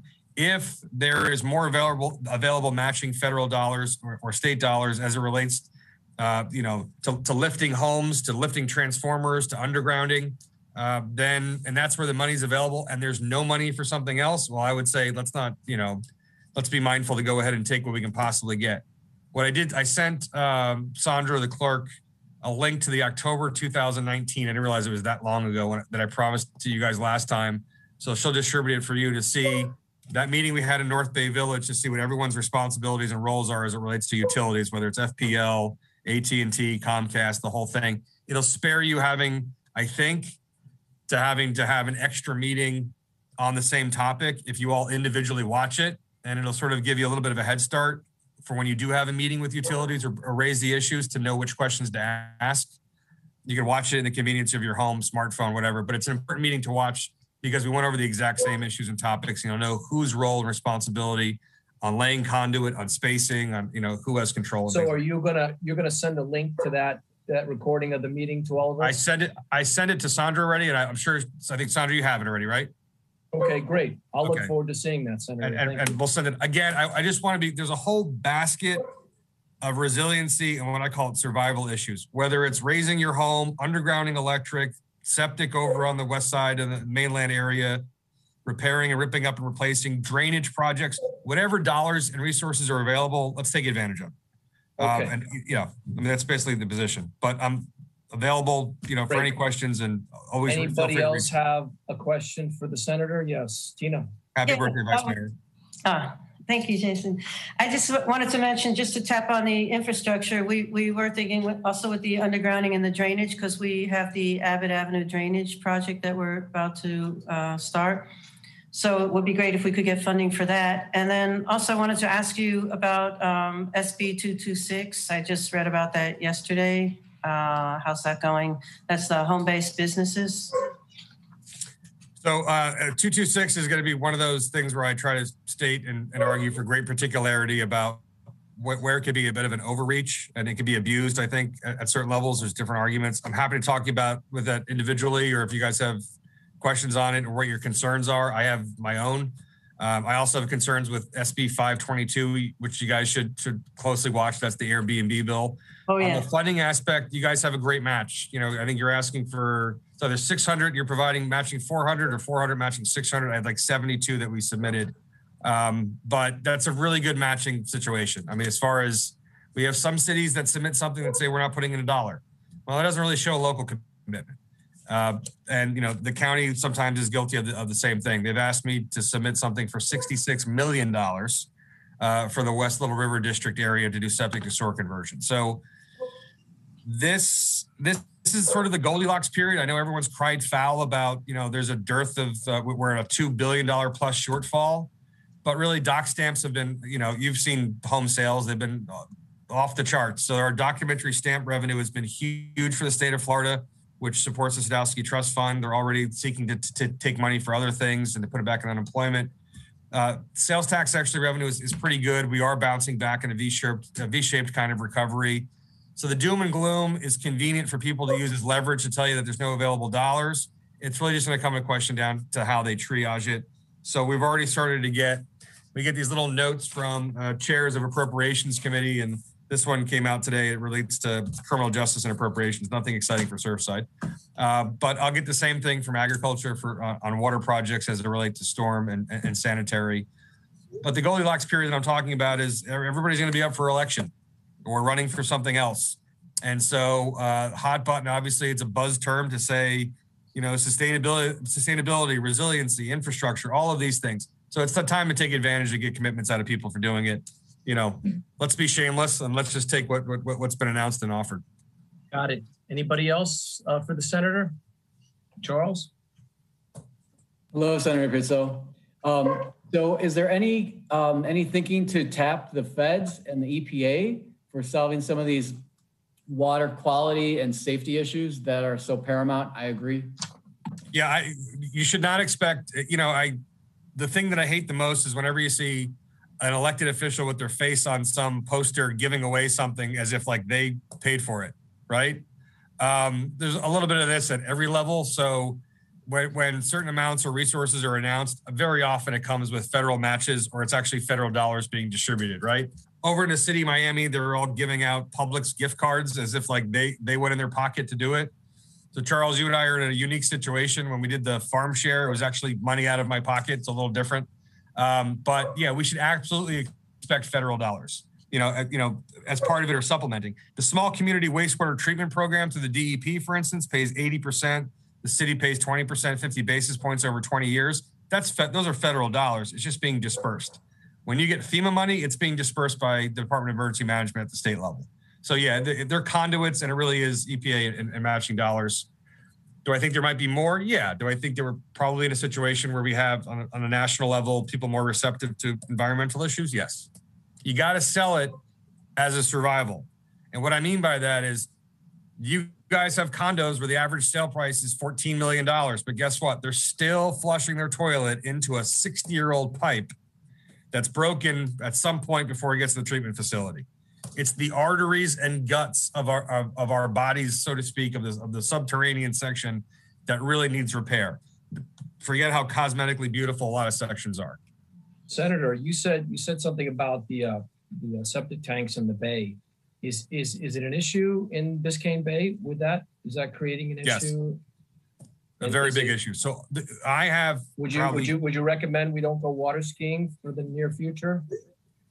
Um, no, I'm, I, mean it, it, it. sort of comes and goes with with certain sections. You know, I used to be off of Maule Lake in North Miami Beach, and I will tell you that there were times when it was toxic, and then there were other times where all of a sudden it was clear. You know, it was the, the ebb and flow. You know, there's a lot of sand that's going to be pulled, millions of cubic yards being taken from the sandbar over at the Haulover area that's going to allow for a different distribution. But let me tell you what the real issue is: is it's 2021, and the entire cities of Miami Shores, all of Biscayne Park, all of El Portal, 1,255 home and businesses in North Miami Beach are on septic. And you know, Miami Shores, you know, and large sections is on the water. And if you don't have a septic tank in your yard when you're flushing your toilet, the effluence is basically just going right back out there. And so we have 101,000 septic tanks in Miami-Dade County, and a large concentration of which are in the general area that, you know, not great. Boy, okay. Yeah. Yeah, I think you ought to focus on getting that fixed for sure. Very good. Okay, uh, Senator, thank you for coming, and we appreciate, as as usual, your comments. Nellie, smile. There we go. I'm smiling. No, I was just listening to everything you said. It was very interesting. Thank you very much for coming. Tina, I'll talk to you about 226. A couple of the, the always look for bill analysis. I'll send it to you. Yeah, I'd like thank to hear about that 226 as well. That's, I was reading about that. It's uh, a little concerning. You don't want to have conversion therapy clinics inside of people's homes? No. Okay. Thanks, uh, guys. Thank you. Sandra, uh, did you, uh, did you uh, read E? I read it, Mayor, but maybe we should pause. Good and welfare. Oh, yeah, good. All right, good and welfare. Okay, well, let's do that. Um, Please uh, move the clock to uh, three minutes. And uh, go ahead and introduce the first speaker, please. Uh, first speaker will be Jeff Rose. Jeff, please state your name and address for the record and your comment. Good evening, everybody. Again, Jeff Rose, 8851 Pratt Avenue. Um, I think the questions for the commission, but a little bit more for the town attorney. We talked about at the Parks and Rec, uh, the new park, about the payback of the seawalls. If a portion of that could be paid back potentially for a kayak launch. Um, so I guess the question is, it's much cheaper, obviously, to pay back on the seawalls that we own than to buy a new property. So I just want to know if there was any update on the potential payback of a partial, or let's just say one or two of the seawalls that we could then put a kayak uh, paddleboard launch on, or if it's an all or nothing type of thing. So I guess the question is for the commission or the town attorney. Thank you very much. Thank you. Thank you. Uh, Next speaker, please. Next speaker is Nicole Loper. Nicole, please state your name and address for the record and your comments. Yes, hi, this is actually uh, Nicole's husband, Tim Loper, 8843 Carlisle Avenue. Uh, Jeff Rose actually took my very first question, which was, uh, is there any update from the town attorney on how much it might cost to buy back a portion of the seawall for a kayak launch? Um, I had a follow-up question. Nellie had asked at one point, no, I'm sorry, Commissioner Velasquez had, had asked at one point um, for the town manager to look at uh, the feasibility of certain parcels of land and, and whether or not we could do something there. And I was curious if the town manager had an update there. Um, that those are my two issues on the kayak launch. Uh, the second thing I wanted to talk about was speeding, which I think continues to be an issue in our community. And there was an 11 year old recently killed in Sunny Isles Beach at a very busy intersection, uh, which I think heightens the importance of this issue to us. Uh, there were recently signs placed in the middle of Harding at 89th and Harding, and that's a, an intersection I use all the time. Those signs have drastically reduced the speed of cars at that intersection, and I, I just think it was a great development. Uh, so I'd like to see if we could maybe expand that program to other areas of the community that are, are, are uh, seeing speeding. Um, there's a slow streets program that Miami has rolled out that might be a good template uh, for that. And the Miami, Herald's had a number of articles about it. Um, and then the last thing I wanted to talk about was the, the tennis center.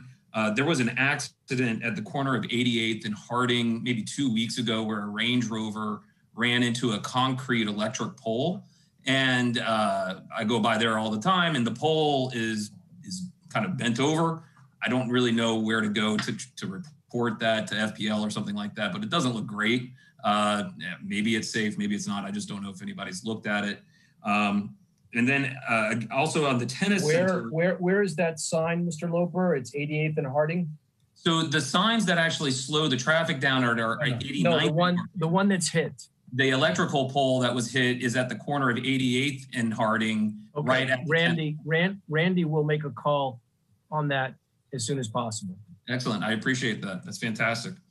Um, uh, oh, so, so the last thing about the tennis center is, you know, right now because of COVID, we're using a reservation system that's online. Uh, that that seems to work well, but one issue is that it allows non-Surfside residents to make reservations, including coaches.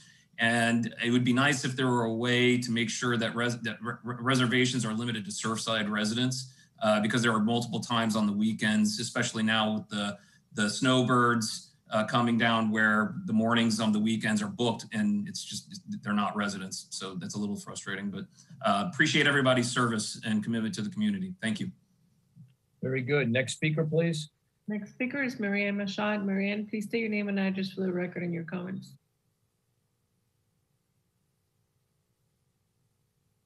Uh, Marianne, your microphone is muted. Let's see if I can. There Hello. we go. There we go. Hi, Miriam Aishai, 9225 Collins Avenue. And I, I just wanted to talk about the signage at the beach and entrances. I walk the beach path, Surfside Beach Path every day.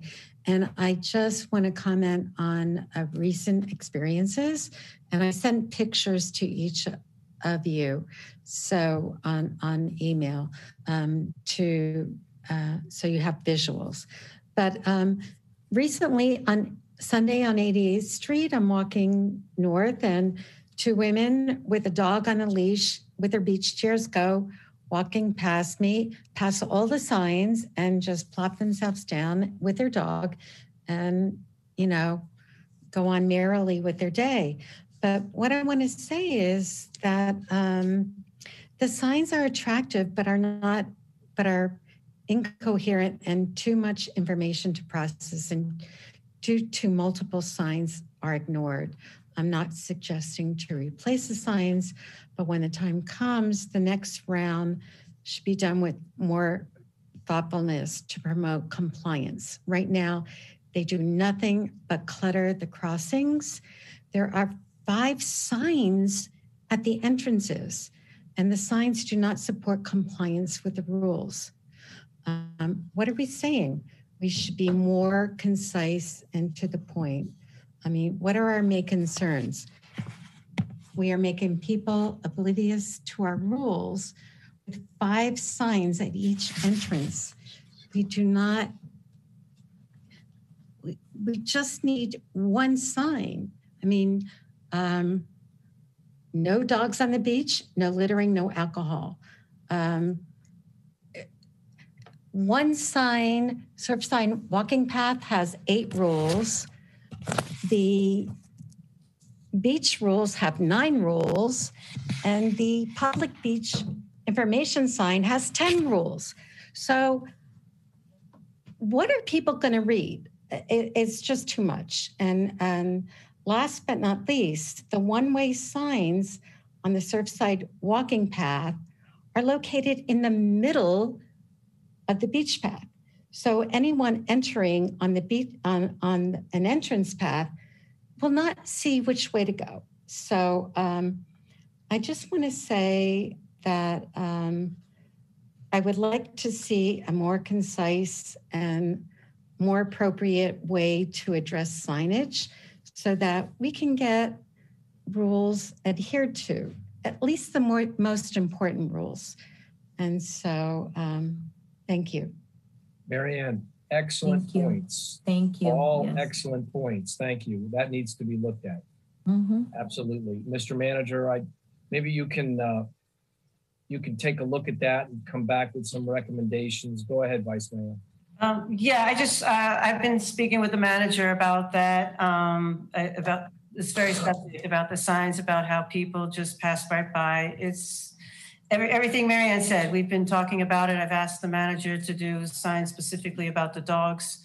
Um, that's just more clear. They, you know, visuals, sometimes, I'm a visual person. Sometimes people are visuals. And if the visuals are there, you can just have the visual. It doesn't have to even be written. It's just, you know, uh, so um, I think the manager is working on it. We, he's sent me some things, so we are definitely on that. Um, I, I would like to know from the previous speaker, though, uh, about non-residents using the tennis court. I'm not aware. of let's, that. let's address, I, I've got these all written down, so we'll Okay, address that yeah. at the end. Thank you. Next speaker, please. Next speaker is Joshua Epstein. Joshua, please state your name and address for the record and your comments. Joshua Epstein, 9 through 17 Bay Drive. I'll be as brief as my with my comments as I can and get to the point. I think we ought to get rid of the commission. I call it the lies and disinformation section in our town gazette. It serves absolutely no purpose. It month after month is used to use taxpayer dollars to spread disinformation to residents who, for no fault of their own, are not informed about what is going on in our town. So they are fed lies, and then we throw up our hands when they come back to us and say, What is going on? Our town gazette, taxpayer money, should not be used to fund what looks like a Russian disinformation campaign. If this commission does not feel that it is your authority to limit what gets put into the gazette based on truth, then it's not going to be a success. That ought to not be in there. There's a reason past commissions took that back. If any individual commissioner or mayor wants to set out mass mailers to the residents, they have every right to do so, but not using taxpayer money, not with the town seal on it, and not with the trustworthiness of this town at stake. If residents read this Gazette and have to fact check what is in it, how are other towns supposed to rely on us? All of our trustworthiness, anything, any trust that is in, that was instowed in our into our town is now gone. By the time any of you are out of office, new people are in office, it'll be beyond repair. We will be known as that town with that kooky mayor and just that lying commission with nothing being trustworthy. It's not a canceling of one person. It's the canceling of the entire commission. You're either in this together, you're in this together. I mean, like they tell you in pre-K, you're either in it or you're you either survive or you don't. And for one person to spread disinformation, uh, disclaimer at the bottom is nowhere near enough. I can't libel, spread libel about someone and then put a disclaimer at the bottom. But if you don't feel that it is your authority to mandate what is put onto that town gazette based on truth, then it ought to not be there because ta- it's better that um, taxpayer money is not used for anything than to be used for misinformation in the town gazette, which month after month is what it is used for. In terms of something I brought up next month, and I'm working on something, and I will hopefully get that onto the next commission meeting. I'll talk to some of the commissioners about it. Our town, just so you know, for the Parks and Rec Department, the minimum starting wage is $11.22. The nonpartisan board of in Miami-Dade County established the living wage in 2020 to be $17.45 in Miami-Dade County. That's $6 under that. In 2008 to 2009, it was $12.95, which means that we're not even paying a livable wage, a starting livable wage in 2008 or 9. It ought to be raised to that 17.45 per hour, which is what Miami Beach is paying. And this is not about the scope of the work. This is about ensuring that the people that work for our town can live based on the salary that they're given and that they are able to not have to worry about where they're getting their next meal from and they can put food on the table for their children because a livable wage is not a wage that somebody's going to get rich off of it's a wage where they'll be able to put food on their table and pay their rent and that's not something that's a negotiable that's a human right and that's something that surfside should make sure happens thank you Thank you. Next speaker, please. Next speaker is George Kusulas. George, please state your name and address for the record and your comment. Uh, George Kuslis, 9225 Collins Avenue. Um, Excuse me a second. Um, So uh, the earlier speaker made a great comment about the signage. Uh, As an architect for very large buildings, uh, convention centers, hospitals, things like that, uh, signage is, is an art. It's not something, uh, it's not a magazine page, it's not a book, it's not a, a card, it's not any of those things. And the signs that are out there are actually quite attractive when you look at them. I mean, they're laid out nicely and all that, but the information, there is just way too much information, too many signs, it's redundant. Um, you, you got to pare it down. So when this, when you look into it, really think very thoughtfully about how you you you communicate the information that needs to happen and always do less not more. There's always the urge in, in any body that looks to, to signage to, to keep on adding.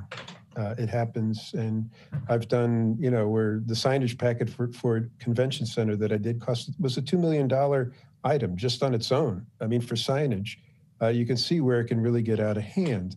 Um, so this isn't that obviously, but the the impulse to do too much on a sign is always there, and you have to really, really edit. And so I thought the earlier comments were great. Uh, I've seen some of those signs myself, and it's it's a traffic jam of information. It's it's uh, no, it, it's very clear why people walk right past them and do whatever they feel like they can do. Thank you. Thank you, George. And you're right. Next speaker, please. Next speaker Stephen Schatz. Stephen, please state your name and address for the record and your comments. Yes, Stephen Schott, 9101 Collins Avenue. First of all, I want to thank you all, Mr. Mayor and commissioners, for all that you do. Uh, I want to say I've listened to most of the meetings over the past year, and how refreshing to hear civil, congenial, and professional commission meetings as there is this evening.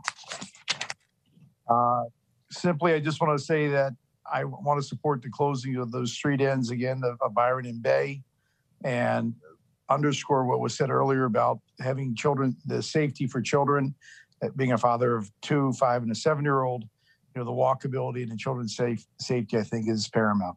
Thank you for all that you do. Thank you, Mr. Schott. Next speaker, please. Next speaker is Leah Rose. Leah, please state your name and address for the record and your comments.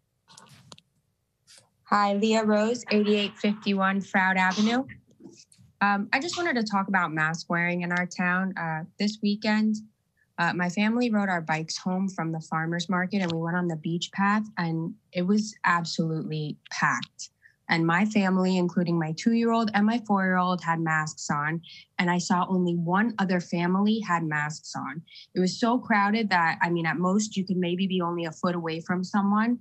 And I'm really not sure what can be done about this, but the walking path on the weekends in particular is just really unbearable and uncomfortable. COVID is not gone, masks should be used, and it's really not fair to people that want to stay safe and enjoy, our city in a safe way. So I, I would just really like to know if if something can be done about this, whether it's I don't know the signage issue that's being brought up tonight or or something else. But I hope that this can really be a priority and that something's done at least for for the weekends. Thank you. Thank you. Next speaker, please. Next speaker is Robert Lisman. Robert, please state your name and address for the record and your comments. Yeah, uh, my name is Robert Listman, 8855 Collins Avenue. Um, I want to agree with uh, uh, Josh's comments about the Gazette. You know, it, uh, specifically to the town manager, uh, we do not want our taxpayers' dollars going towards politicians using our money to further their personal agendas, which is what's happening. It's not okay. Um, my family's been in software business for over two decades. Mr. Kessler, your comments about uh, digital signage was spot on. I hope the rest of the commission listens to his insights. Um, the embarrassment, uh, Miss Nelly Velasquez is yourself, uh, the mayor. The level of dishonesty Excuse me, I, this is not for people to come the on here the and low insult level the of commission. IQ that you demonstrate, Okay. the narcissism. Excuse me, can you please? Okay, this is- hang on a This is second, Nelly. disrespectful. Nelly, he, he's going to be muted. If he's going to insult and denigrate, okay, then he's not going to get to talk. I'm going to bring him back on now. He's going to get one more chance to stick to the issues, but if he's insulting people, then he's not going to be able to speak. Go ahead, Mr. Listman. Try to finish your comments. Do I get my time back that you use? No, you don't. Oh, okay. So let's switch over to free speech, ironically, right? Uh, your favorite topic that you like to politicize. Um, not allowing a resident to have his question heard by ending the Q&A, that was shameful. Then arbitrarily giving him one minute to finish because of a personal disagreement, also shameful. Telling the commissioner to not speak to him uh, and then muting his mic, asking for his mic to be you sound like the cancel culture you whine about all the time. Um, it's probably difficult hearing uh, people disagree with you when you come from so much privilege and you have so much power. You're probably not used to being held accountable. Uh, you think fairness is oppression. It's not. We all deserve fairness. Have a good evening, everyone. Okay. I think we have one more speaker. Next speaker is Horace Henderson. Horace, please state your name and address for the record and your comments. Good evening. My name is Horace Henderson, uh, 9195 Collins Ave. Um, I simply want to thank the commission for the uh, hard work that they're doing, um, especially the 96, 92nd Street ramp and the cleanup of the construction sites that you uh, mandated that they take care of. I was sitting by the pool the other day and um, watching them clean it up, and uh, thank you very much for that because it's been a bit of an eyesore for quite a while. Um, and I'd just like to finish up by saying I like the Gazette. I'm happy with it. Thank you very much. Have a good evening. Thank you. Next speaker, please. Next speaker is Diana Gonzalez. Please state your name and address for the record and your comments.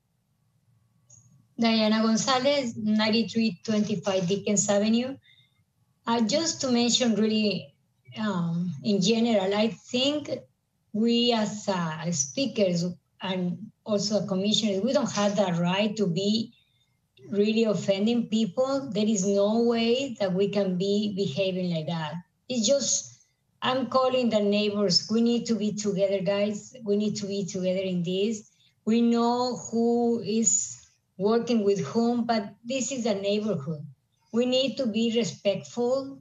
They are our representatives, even if we like it or not, even if we don't vote for them or we vote for them. We need to treat the people with respect. I'm really, I'm really tired of seeing the meetings and seeing even faces of the employees in the town that they are really stressful too, because it's stress for everyone. Please, we need to behave different. Just I'm calling to everyone, try to behave different when you speak. We, anyone has the right to be uh, offending the commissioners or the commissioners to us. N- No one has that right. And we need to behave different. I think we are adults. We are in really bad situation in the war in general. And to be behaving like that is really, is really painful. And is no, I think we can do better. We can do better as a neighbors. We can do better as a community, really to be the community. Last meeting, I saw that even Sandra was stressful in her shoulder. She was even receiving kind of massage because she was so stressful. And everyone is stressful. We are stressful just hearing that. And the people there sitting in front of us, we have them in the camera. We need to respect people, guys. Please, the people who already speak and is always speaking very aggressive and speeding and uh, with aggression. I mean, we cannot be like that, guys. We can do better. It's all that I want to say. Please calm down and try to come together as a community, not against each other. Thank you. Sorry for Thank my- you. Thank you, Diana. Next speaker, please.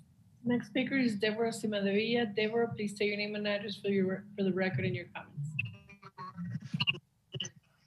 Hi again, Deborah Simadevilla, 9108 Abbott Avenue.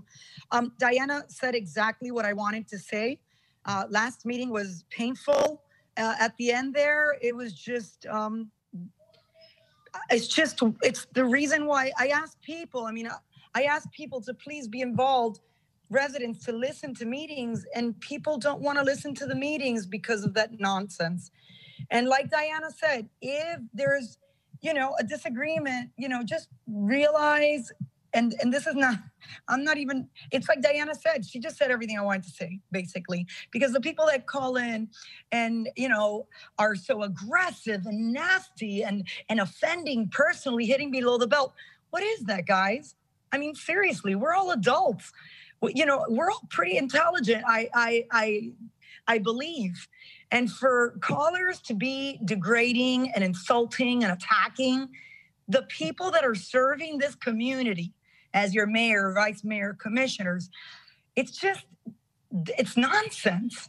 And, and I really, I'm trying to implore everyone, like Diana said, whether you disagree with them, I don't care if what the disagreement is. If there's something personal going on, please just, you know, try to reach out to them personally because the residents, the taxpayers that want to get things done do not appreciate it.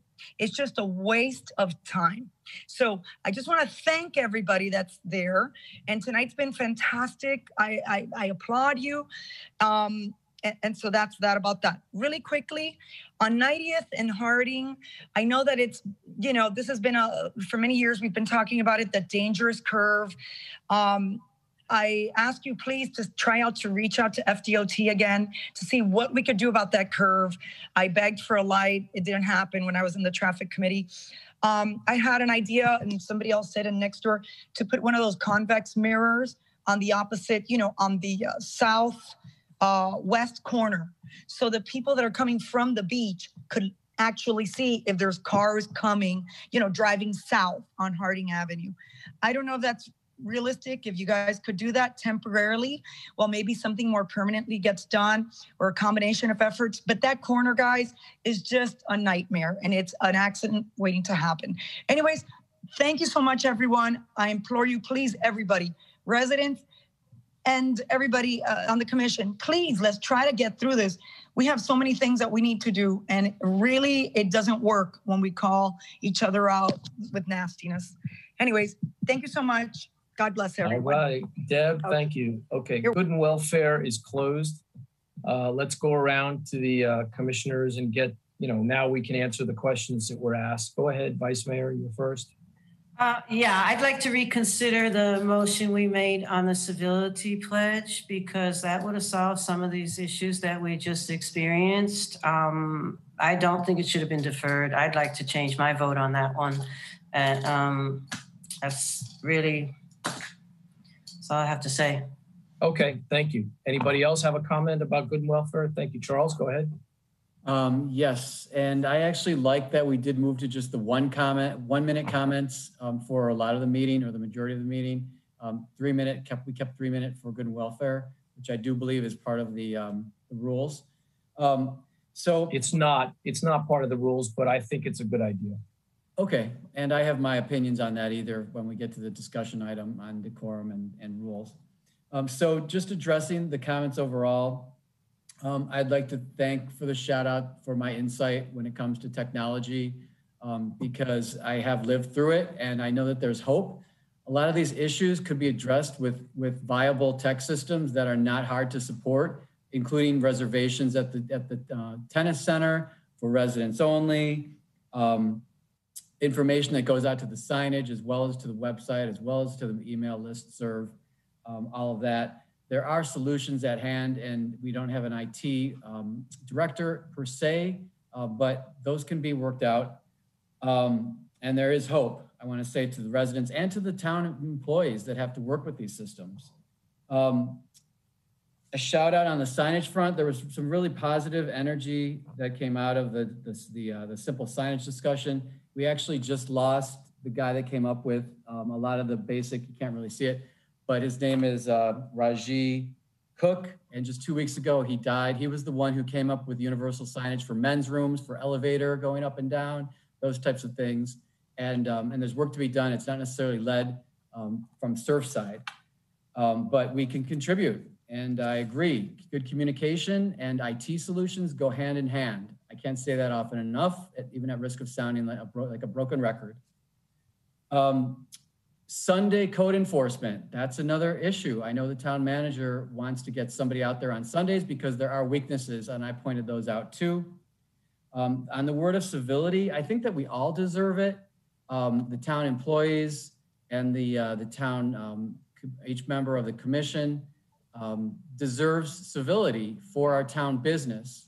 Um, that said, when we signed up to be elected officials and we and we threw our hats in the ring, um, I at least knew that slander and um, and um, its uh, its written counterpart part. Sorry, I'm I'm getting distracted, but um, those don't apply to us as an elected official. Um, people can be slanderous towards me, and you know, and commit the uh, the written form of, of slander, which now is the same burden of proof, which for us is just kind of open ended. That said, town residents did not sign up for it, so they shouldn't they shouldn't have an open access to be to be abused by anybody.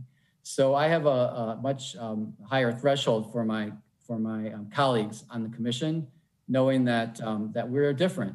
Um, I do like civility within the town meetings that is um, that is subsidized by the town and where we should just do the people's business. But that said, anything kind of goes outside. That's you know whether whether you like it or not, and in people's own personal realms of the politicking, you know, it's pretty lenient.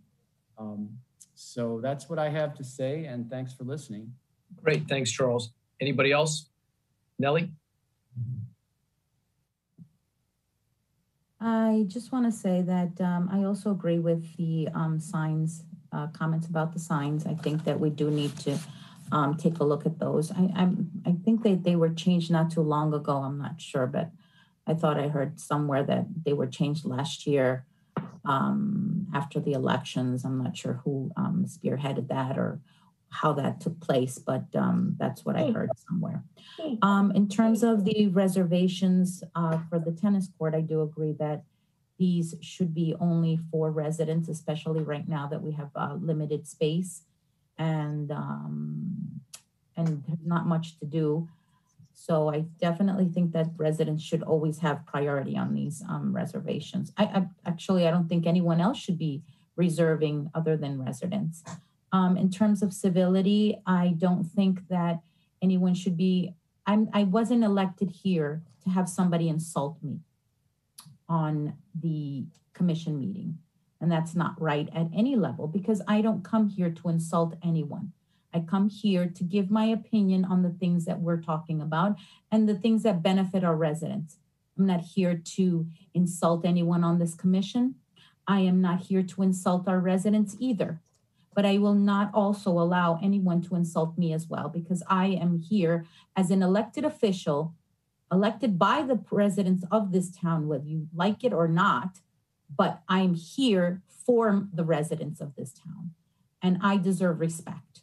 And so does the mayor, and so does Charles, and so does Tina, and so does Eliana. Okay? So that's not right to call in to do and and, and our staff, uh, the town manager, the the um, our town attorney, our town clerk. Everyone deserves respect. So if, if someone wants to call in and make a comment about the situation that's happening in town, I have no problem with that. But when you're ad- addressing someone in a very disrespectful manner, that's not right at any level. And that should be part of, of a civility um, pledge as well. Um, so I have to, um, that's what I have in comments on that. Thank you very much. Thank you. Okay. Uh, I agree that uh, those signs, and I think the police chief is on on the call. Those uh, small three foot signs that were put up on in the middle of the street uh, at the, uh, I, I believe it was 89th or 90th Street where that turn is, um, were great. Uh, they got hit a lot, I think, and they finally came down. But I think once people slow down, they'll stop hitting them and maybe they'll get the idea. I mean, the police have been writing you know, we've been giving warnings now for six months after we first got elected, but we've gone to writing tickets now. And I, I do notice the traffic on Collins and Harding is noticeably slower. And we will continue to write tickets and we will we will move towards being known as a Golden Beach, Biscayne Park, and what Bal Harbour used to be with respect to speeding. You, you just don't go through Surfside and speed. That's just not something that you will do in the future. We don't want to be a speed trap, but we want all the drivers that are traversing through our town to respect our residents. Um, everybody knows that when the speeds are at 30 miles an hour, the quality of life skyrockets for all the residents. Uh, so I, I totally support anything that we can do um, to uh, get those signs back up and slow the traffic down. Along those lines, um, I sent uh, the manager and the assistant manager uh, uh, a couple weeks ago uh, a notice of some funding that's available through Dade County. And we applied for that funding, and that funding is directed at those crosswalks that light up where the person who wants to get across the street can push the button and the lights start going off, and it's a lot safer. And uh, I'm keeping my fingers crossed. Uh, and first of all, I want to give a shout out to Jason and Andy, um, who did a magnificent job with a 48 hour turnaround. They got that grant thing put together and they got that put in, and it was really amazing. So, guys, thanks very much. And uh, I'm going to cross our fingers and hope we get that uh, that grant so we can build all those flashing crosswalks. Because again, that'll be another additional traffic calming device uh, as we go forward with respect to the resident who called in about the reservations at the tennis center, um, I wholeheartedly agree that Surfside residents ought to be first in line. And I think that uh, we ought to do whatever we can. Tim, if you're on the call, I see you are.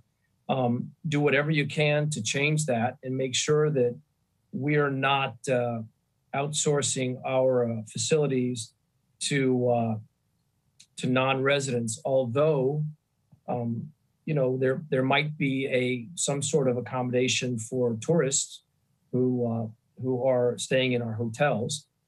Uh, the next thing is uh, we had some of the speakers, the ones that were not so friendly, on the call talk about how their questions weren't answered when they wanted them answered. Um, I guess they missed the meeting where we decided to answer all the questions at the end, like we're doing right now. So it's unfortunate that it had to get nasty like that, but uh, I think those speakers are all part of the same group, and it's it's unfortunate. Mm-hmm. Uh, the civility thing is uh, is a, is a very important issue, and it, it's funny. I noticed that when the four of us are together at the meetings, um, the meetings are civil. And respectful. And they don't go on forever. So um, there must be something going on at these meetings where the four of us are present um, that allows the meetings to flow and function without disharmony. Now, that's not to say we don't disagree. I think we disagree, but we disagree respectfully. And we know where the line is. And we don't use bad words. And we don't make unfounded accusations. A lot of these accusations that folks that are calling in are making are never backed up. Have you noticed that? Have you noticed that they say there's lying? Have you noticed that they say that we're not telling the truth, but they never say what that lie was? And they never say what that truth is? Because quite frankly, I, for one, and I, I probably speak for all of you, would like to know what those lies are and what those non truths are, because we're all here. If something's been said and it's not accurate and it's not truthful, I'm going to be the first one to change it. And I think I've made that offer personally, publicly, many times. So if someone wants to get on telephone and they want to say at a public meeting that someone's a liar or a thief or corrupt or a dictator or any of those really, really very bad things, impolite, rude, common, ordinary, and vulgar, as my grandmother used to say, um, listen, there would be one case where it would be permitted. I mean, listen, if someone's done something really bad, save the epithets, save the insults, and just go right to what's really bad. Put it out there because that's the most damaging thing. I mean, that's what I would do. If someone's done something really bad or illegal or immoral or unethical, put it out there. And then everybody knows what it is. Okay, enough said on that. Anybody else? I think we're good. Let's keep going. I think, uh, Sandra, we were up to five And E, just for correct? the record, Obviously, the, the written form of slander is libel. I didn't want to leave that out there. Well, listen, thank you for that, Charles. Appreciate that. Uh, would you please read five E again, and then we'll try to start this thing up again? Yes, Mayor. A resolution of the Town Commission of the Town of Surfside, Florida, urging Governor DeSantis to increase COVID-19 vaccine allocations to Miami-Dade County in order for the town and other local governments in Miami-Dade County to meet vaccine demands among vulnerable community members, providing for transmittal and providing for an effective date. Item five E. Great. Is there a motion to move that? Tina, thank you. Yes, motion to approve. And a second by Charles. Thank you. Any discussion? Matt? Um, sure, I'll just say some background and it'll tie in a little bit to the, um, to the COVID task force. Um, but, um, but you know, the, some, some of the rural counties were prioritized just in terms of the sheer percentage. And, um, and I, I, I like that this addresses that because we still have residents, um, as Jason, as Senator Pizzo said, you know, no matter how you slice it, um, there are still uh, numbers in the population that are that are on the list and waiting for the first shot, let alone their second. Um, and um, and then the groups that are to come. Um, uh, obviously, it's good to take care of them too. And to me, this should be an apolitical issue. Um, and um, apolitically, the South Florida and Miami-Dade County are um, are hit harder and will receive you know more rewards from uh, from getting our fair share of the vaccinations, if not arguably more than our fair share. Thank you. Okay, Madam Clerk, would you call the roll, please? Oh, Tina, go ahead. Sure, I'll just add to that. Um, it's pretty, it's pretty much self-explanatory. You know, as um, the representative on the Miami-Dade County League of Cities, you know, we meet um, now we're meeting bi-weekly, but we were meeting every week, and the consensus was to have one voice from all the municipalities and the county, so that the message is clear. And um, so this was actually something initiated through the league to have the different municipalities uh, support a resolution urging for our fair share of the vaccine because uh, for anyone who didn't read this in the public, um, the county has the highest number of COVID cases and deaths in the state of Florida, equaling 20% of the overall numbers, yet the county has only received 11% of the allocated vaccines. So it's just, you know, to really try to help people to stay, stay safe. So um, thank you. It's a good idea. Call the roll, please. Mayor, I have a public speaker. Okay, bring him in.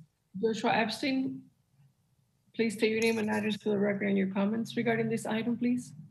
Joshua Epstein, 9 through 17, Bay Drive. I mean, this all stems from the same exact thing, the inequitable um, vaccine rollout, but that all stems from what we were just touching on, which is it is a right to participate in a democracy. It's not a privilege. It's not up to anyone with this current one minute that I have to decide who gets to be heard, who doesn't get to be heard. Aggressive and nasty has never meant facts and speaking out. If you want impunity from people speaking out against Mr. you, Epstein, you can become a dictator and autocrat, but that is about- not what this is. Okay. In That was terms of the vaccine rollout, it 100%. That- Take him off, please. I'm Take him off, of- Jose. Okay, if you're not going to speak to the issue, Mr. Epstein, and you're going to rail and rant, that's not going to work. Okay? We're having a productive meeting. If you have something to say on the topic, we'll let you talk next time. Okay, call the question, Madam Clerk. Commissioner Kesl, Yes. Commissioner Velasquez, Absolutely, yes. Vice Mayor Paul, Yes. Mayor Burkett, Yes, Mayor, the motion carries. thank you. Thank you. Okay, we're up to uh, the COVID task force update. Charles? Um, sure, and and I'll keep it brief. Um, from my perspective, um, I'd like to congratulate everybody at the town for really working together and pulling together for a simple, consistent message. Um, I'd also like to thank uh, Commissioner Velasquez, uh, you, Mr. Mayor, um, the Vice Mayor, uh, for for um, for based on my observations, kind of uh, stepping up with the consistent message. You know, we're not out of the woods yet with COVID, and um, and we saw over the last two months um, simplification of the message. Now, this we noticed that the signage may not be perfect, um, but with the new communication director um, and um, and kind of you know the the um, the team-based effort, um, which I'd also like to add is directed by the county. So a lot of the signage that we got was you know from the county that it was passed along for COVID but um, but we're not out of the woods yet. That said, we do have hope. Um, the the uh, the strain that is the um, uh, that is the you know the challenge that first showed up in, in Florida um, and now is in I think um, almost all the states. You know that shows that uh, that COVID in all its different forms, uh, you know, is going to continue to be an issue going forward. So uh, we can just be in a position to handle this emergency and other emergencies as they come up um, better with every day. And perhaps the town manager wants to add to that, but that's all I have. Thank you, Charles. Andy? I do actually. Um, uh, a big thank you to Lily, by the way, because what I'm about to say, she kind of connected us with this. We have requested through the health department to be an outreach site for COVID vaccines. We have requested up to 500. Uh, we think that we will probably get 250, but you you obviously go in high. Uh, and these vaccines would be for those who qualify in our town to receive the vaccine. Um, both residents and employees that that meet the criteria and we would have it we would have a site here in town we should know in about two to three days uh, we just got all this information. I did shortly before the meeting. That's why you're all hearing it now and it's actually easier for me to tell you all at once. Uh, but but that's good news. So we're uh, the department of health will provide all the elements needed. We just have to provide the location. Before it was a lot of moving parts. We had to get a doctor. We had to store it. We had to do a lot of things. But that all that's been taken out of the equation. I think they're trying to get those out, obviously quicker uh, and and closer to the community. So we just to let you all know, we have uh, we have um, accomplished step one. Very good. Thank you, Mr. Manager. Nellie? And Oh, then that's, Tina? wo- that's wonderful news, um, Andy. Thank you very much for that update. I'm very happy to hear that. And also a big thank you to Yami. She's she's on here. She's she's doing the legwork. So she's Oh, great. Thank really you, doing a Yami. great job for us in that. And again, thank you, Lily, for pointing that out to us. Thank you, Lily. Lily, good work. Okay, Tina. Okay, so uh, yes, I'd like to thank our staff. Uh, I, I can start with, um, you know, I've been working with Andy and I asked him to, um, you, you know, and then in the initial stages of this um, COVID, uh, our, we had staff that was doing outreach, calling different um, members of our community, um, senior members. And so I'd, I'd asked Andy to um, try to assist with the vaccine and call people and see who uh, needed help getting getting it, you, you know, getting their appointments. And he has directed staff to do that. So I want to thank him for that and thank the staff who had made those phone calls to the residents. Uh, a special thanks to our police force and our code enforcement because they're the ones going out there and asking people to wear the masks. And it, it was uh, sorry to hear what the resident said on the good and welfare about the walking path. I've seen that too when I do go out to the beach. On Sunday, I went out to the farmer's market, and I have to say, we had compliance at the farmer's market. Um, pretty much everyone was wearing a mask. If they weren't, they put it on once they started to walk in. Uh, I can't see the same for my walk over there. The walk over there was a lot of people without masks. Um, I think it's just a mixed message, and we have to just continue with the message of you know protecting each other, protecting the community. So um, yeah, I, I, if we can maybe do a little more outreach on on the walking path, I've seen an improvement in the business district. I was in the business district uh, well Sunday, and and yeah, it was a lot better a lot more compliance. So, so I think we're making progress. So uh, um, thank you to everyone and the people in the community who get this and, and are doing the right thing. Thank you. Very, very good. Okay, we have another speaker on this subject. You know, I just want to make a point here before we bring in the speaker. Um, the uh, former commission did not allow residents to speak on every subject. And that was one of the things that I said I was going to do when I became the mayor, since the mayor runs the meetings. It's important for me to hear from every speaker, whether you know we like it or not. That's the way it goes. But again, the speakers should be on topic and not use it to conduct a witch hunt or rage about uh, one of their pet peeves. So um, we're going to one minute for everybody talking about these items. We go to three minutes on good and welfare. And if the speaker goes off the topic, then they can't talk anymore. Go ahead and bring the speaker in, Madam Clerk. Joshua Epstein, please state your name and address for the record. Joshua Epstein, 9317 Bay Drive. I obviously want to thank the town for all the efforts that they've done with the mask mandate. It's not been enough. I mean, if you look at the statistics, just nine out of the 10 top states that have the lowest death tolls have had mask mandates in place.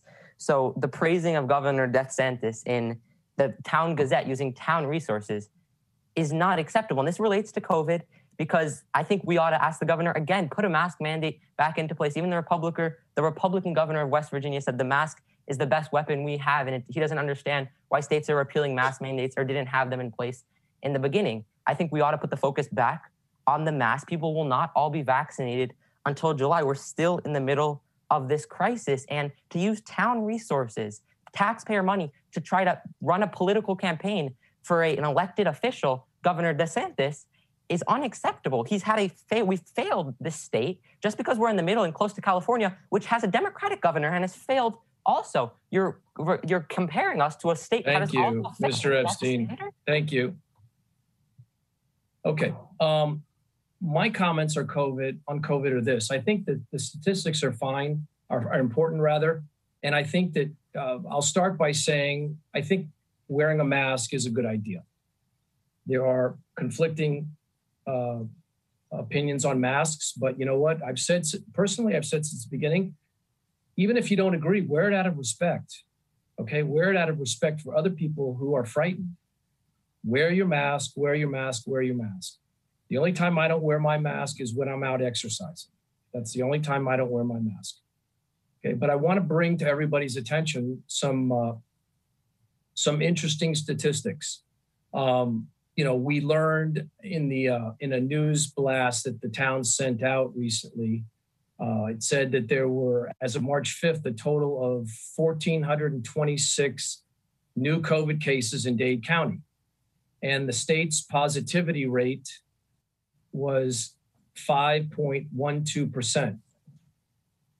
That's those are interesting statistics, but they have to be put in context. So I just want to share with you a little context. On March 5th, first, as of March 5th, there were 1,426 new cases reported, as I said. However, in early January, there were 5,114 new cases, meaning that since January, The current number of cases being reported has declined 75%. That's good news. Okay? That's really good news. That's a 75% decline from the January high. Second, on March 5th, the positivity rate was reported as 5.12%. In January, in Dade County, the positivity rate was 10.57%. That means the positivity rate has dropped more than 50% in the last two months. Again, something we can be hopeful about. But here's the most important statistic. In the last 30 days, according to the Florida Department of Health's own website, COVID deaths have dropped from 175 to 10. That's a 95% decrease. So, whatever Florida is doing, whatever Dade County is doing, whatever we're doing, we're going in the right direction, and that's a hopeful sign. And I just wanted to put that out there for everybody. So, congratulations to everything you're doing. Congratulations, Mr. Manager, to your staff. Thank you for for making sure that everybody wears a mask, and uh, we'll get through this together, as they say. Anybody else on that subject before we move on? Nellie? No, I just wanted Tina. to, oh, sorry. No, Just Nellie. wanted to mention there was a letter that came from um, the um, county mayor, um, Ms. Cava, and she was mentioning that if uh, we continue to go in the right direction, she's going to remove the uh, curfew. So I think uh, this is all good news. I think we're we're we're close to hopefully some someday soon be out of this this very horrible situation that we're all in. Uh, and that's all I wanted to say. Thank you. Thank you. Tina? Okay. Yes, Mayor, I, I just wanted to go back to your statement about the former commission because I sat there for four years and residents were allowed to speak on every topic. They were asked to stay on topic. That is correct. But they were allowed to speak at every topic. And it's, I was there. So I, I just have to uh, be clear about uh, that. And It's funny, I was there too. You came, I think, only once. I, I, I I was there. I, I was there and I watched the meetings on TV. So, you Okay. know, I, I, I didn't have to come to watch what happened. And I, and I can tell you that, you know, as a matter of fact, I experienced it personally. I was absolutely interrupted and shut down, which is why I'm so adamant about letting people speak. Okay. That's, that's a very important thing. Okay, I'm, I'm not trying to cause an argument, but I sat Well, there. let's, let's not. Ignore Okay, that let's, statement. let's not. I, I was there and I, I was part of it. I experienced it. You were allowed. Okay, let's, let's move on. Okay. Uh, the next item is nine B, which is amending the town code, which is funny. It's right on top, not civil, what just happened. you know. What happened? Did I miss So whole argument of whether the previous Oh, no, I, I, no, no, that's, that that's, listen, that, that's not, you know what? I, I, I commend Tina. That was very respectful. She's got an opinion and I've got an opinion. And there was no screaming. There was no yelling. There was no accusing. It was just a difference of opinion. And now she stopped talking and I stopped talking. That's the way it is. And in this, in this setting, what we do is everybody gets to talk. Everybody gets to express their own opinion. They don't get to interrupt. They don't get to scream. They don't get to yell and they don't get to accuse, but then they get to vote. And that's how we do it. That's how a civilized, respectful commission does it. And listen, I was not offended at all by that. I listen, Tina and I, we we have a difference of opinion, but we also agree sometimes. It's all good.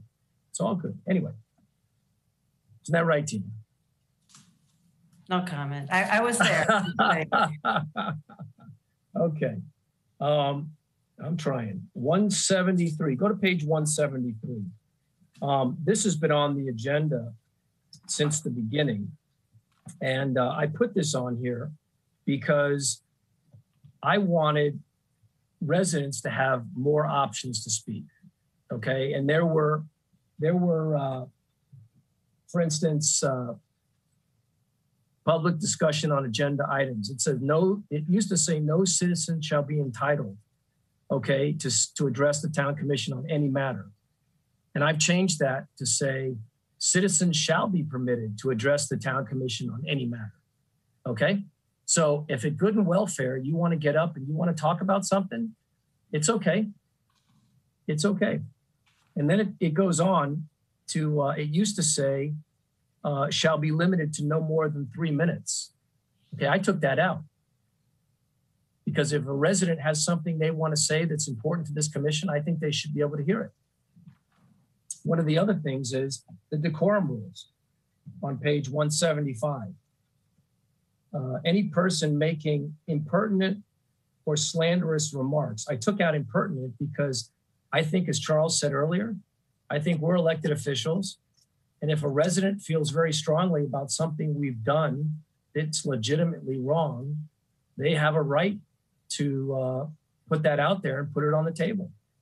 So I, I wasn't comfortable with not allowing people to make impertinent comments. If they want to make impertinent comments, they can make an impertinent comment, but they can't slander people.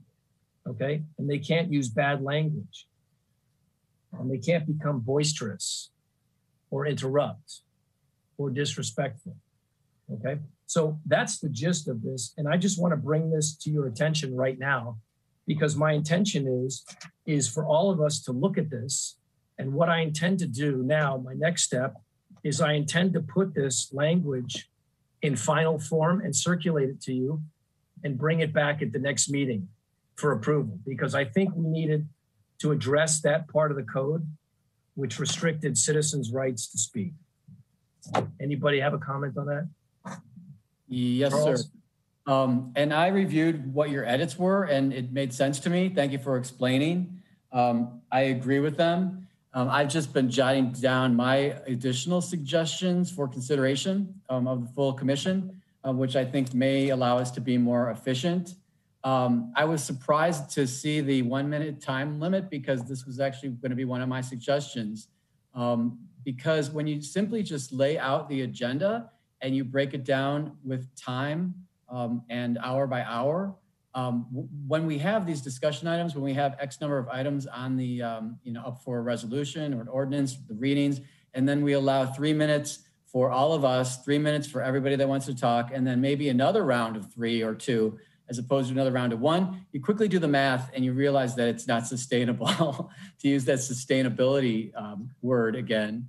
Um, so I would propose actually that we have kind of a breakdown of the evening um, in terms of a timeline. Not that it has to be adhered to strictly. We know good and welfare comes at 8:15, um, but if we break down the agenda, we'll actually have an idea, I think, of how far we will get. Um, but some other ideas that I had um, was, um, um, you know, for for uh, for proposals that the presentations be targeted to about five minutes. Um, commissioner comments, I think, uh, could use three minutes on some of the bigger issues like ordinances and passing those. Um, but for the discussion items, I think that two minutes we could probably use with one minute options to extend.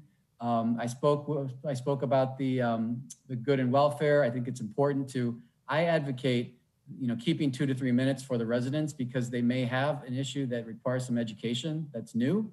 Um, and that's what that's supposed to be for, something that's kind of outside the box and not on the agenda. Um, but I think that the one minute beyond that, you know, if not one, then two um, for public comment on each issue would be enough. It Seems like people could be succinct, and I'll be succinct as well.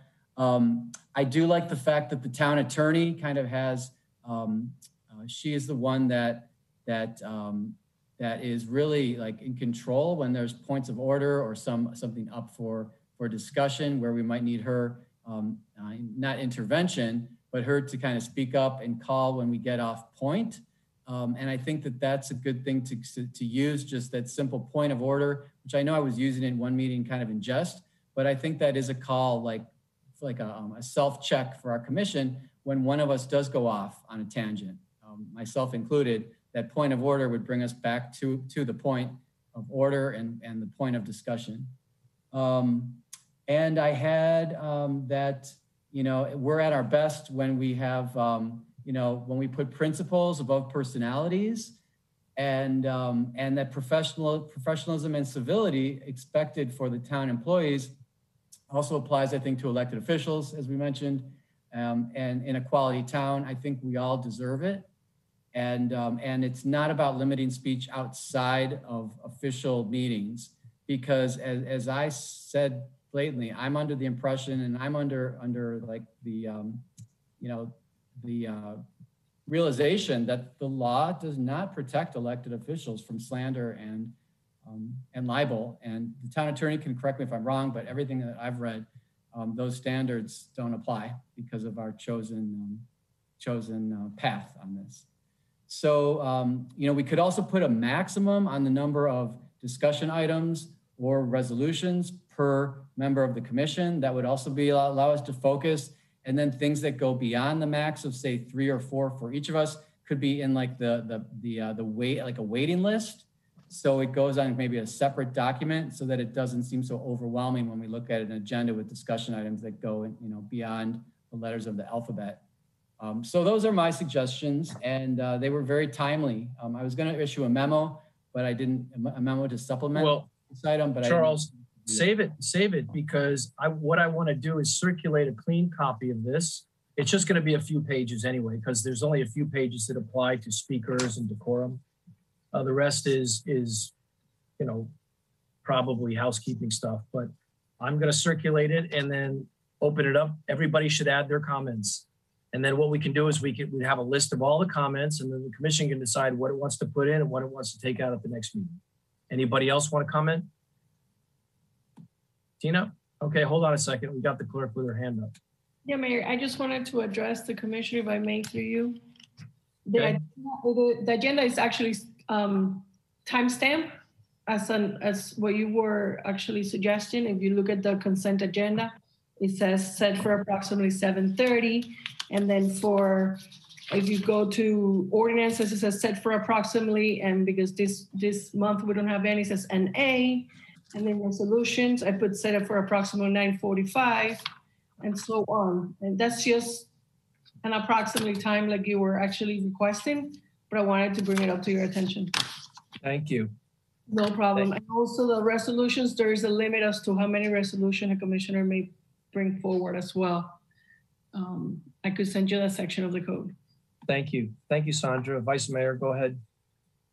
Um, Yeah, so uh, actually, I I would like to ask um, our attorney about this because, uh, you know, I've read this, this a hundred times. And this um, uh, procedure for meetings, it's, it's been, uh, it was revised when I first joined the commission. And then when our attorney joined the commission, it was revised again. And it was revised to meet um, more like uh, to be in line with the county uh, rules of procedure. And um, it's for it's used for every board and committee. And so, you know, I read this your version of it several times, and then when I uh, became the liaison for uh, tourism board, I read I, it was sent to me, and I read it again, and that was just the version we're working under now, and and I have no problem with it. So um, I'll be happy to look at your clean version and see how that reads because it's still a little confusing. But Yeah, I- it is. It, it, it is confusing. I, I don't like, because there are some, there are some things that were changed by the prior commission.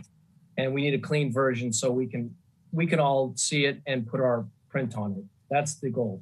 Well, if, if I may ask the attorney, because, um, you know, when it was present, you know, I, we had changed it once, and then when it was presented to us to change again, um, I, I was, back then, I was told this is more in line with what the county is doing, so I, I'm okay with that. So if, if we could hear from Lily? Sure, Lily? Well, you're, you're right, uh, Commissioner Paul. When I joined as the town attorney, we did make some changes to these rules. Um, however, if you, if it's the will of the majority of the commission to make further changes, you can within the parameters of the law. Um, you know, it- it's really your policy direction. Uh, But can I just ask, is it, uh, um, this was modeled after the counties, is that correct? Because that was what I was told way back when we, we approved it. Um, I, I'm not sure if it's modeled after the county, but we also follow Robert's Rules of Procedure, which we've adopted in this particular provision. Um, I think that most, most cities and counties have similar rules, but they can be tweaked and refined to suit the needs of the particular commission. But Tina, um, just as an example, you know, the, the, the last commission that you were talking about required people to fill out little cards. And if they didn't jump through that hoop, all of a sudden they couldn't speak. So everybody was rushing around, filling out little cards. And I thought that was ridiculous. So I've changed it. It says registration of speakers. It used to say shall be required. Okay. I don't think we should require those hoops. I said I changed it to registration of speakers shall be encouraged. So if they want to register, we encourage that. But we don't, that's not a stumbling block we put in front of people that want to express themselves.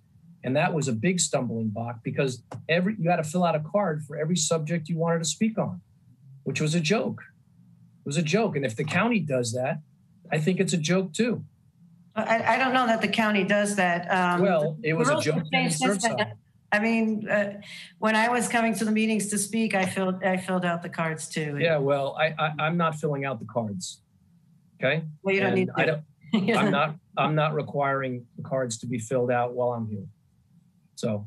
Okay, well, let's else? go to the clean copy to read. Okay, I'll do that. Anybody else have a comment? We have one speaker. Bring in the speaker, Madam Clerk. Jeff Epstein, please state your name and address for the record and your comments.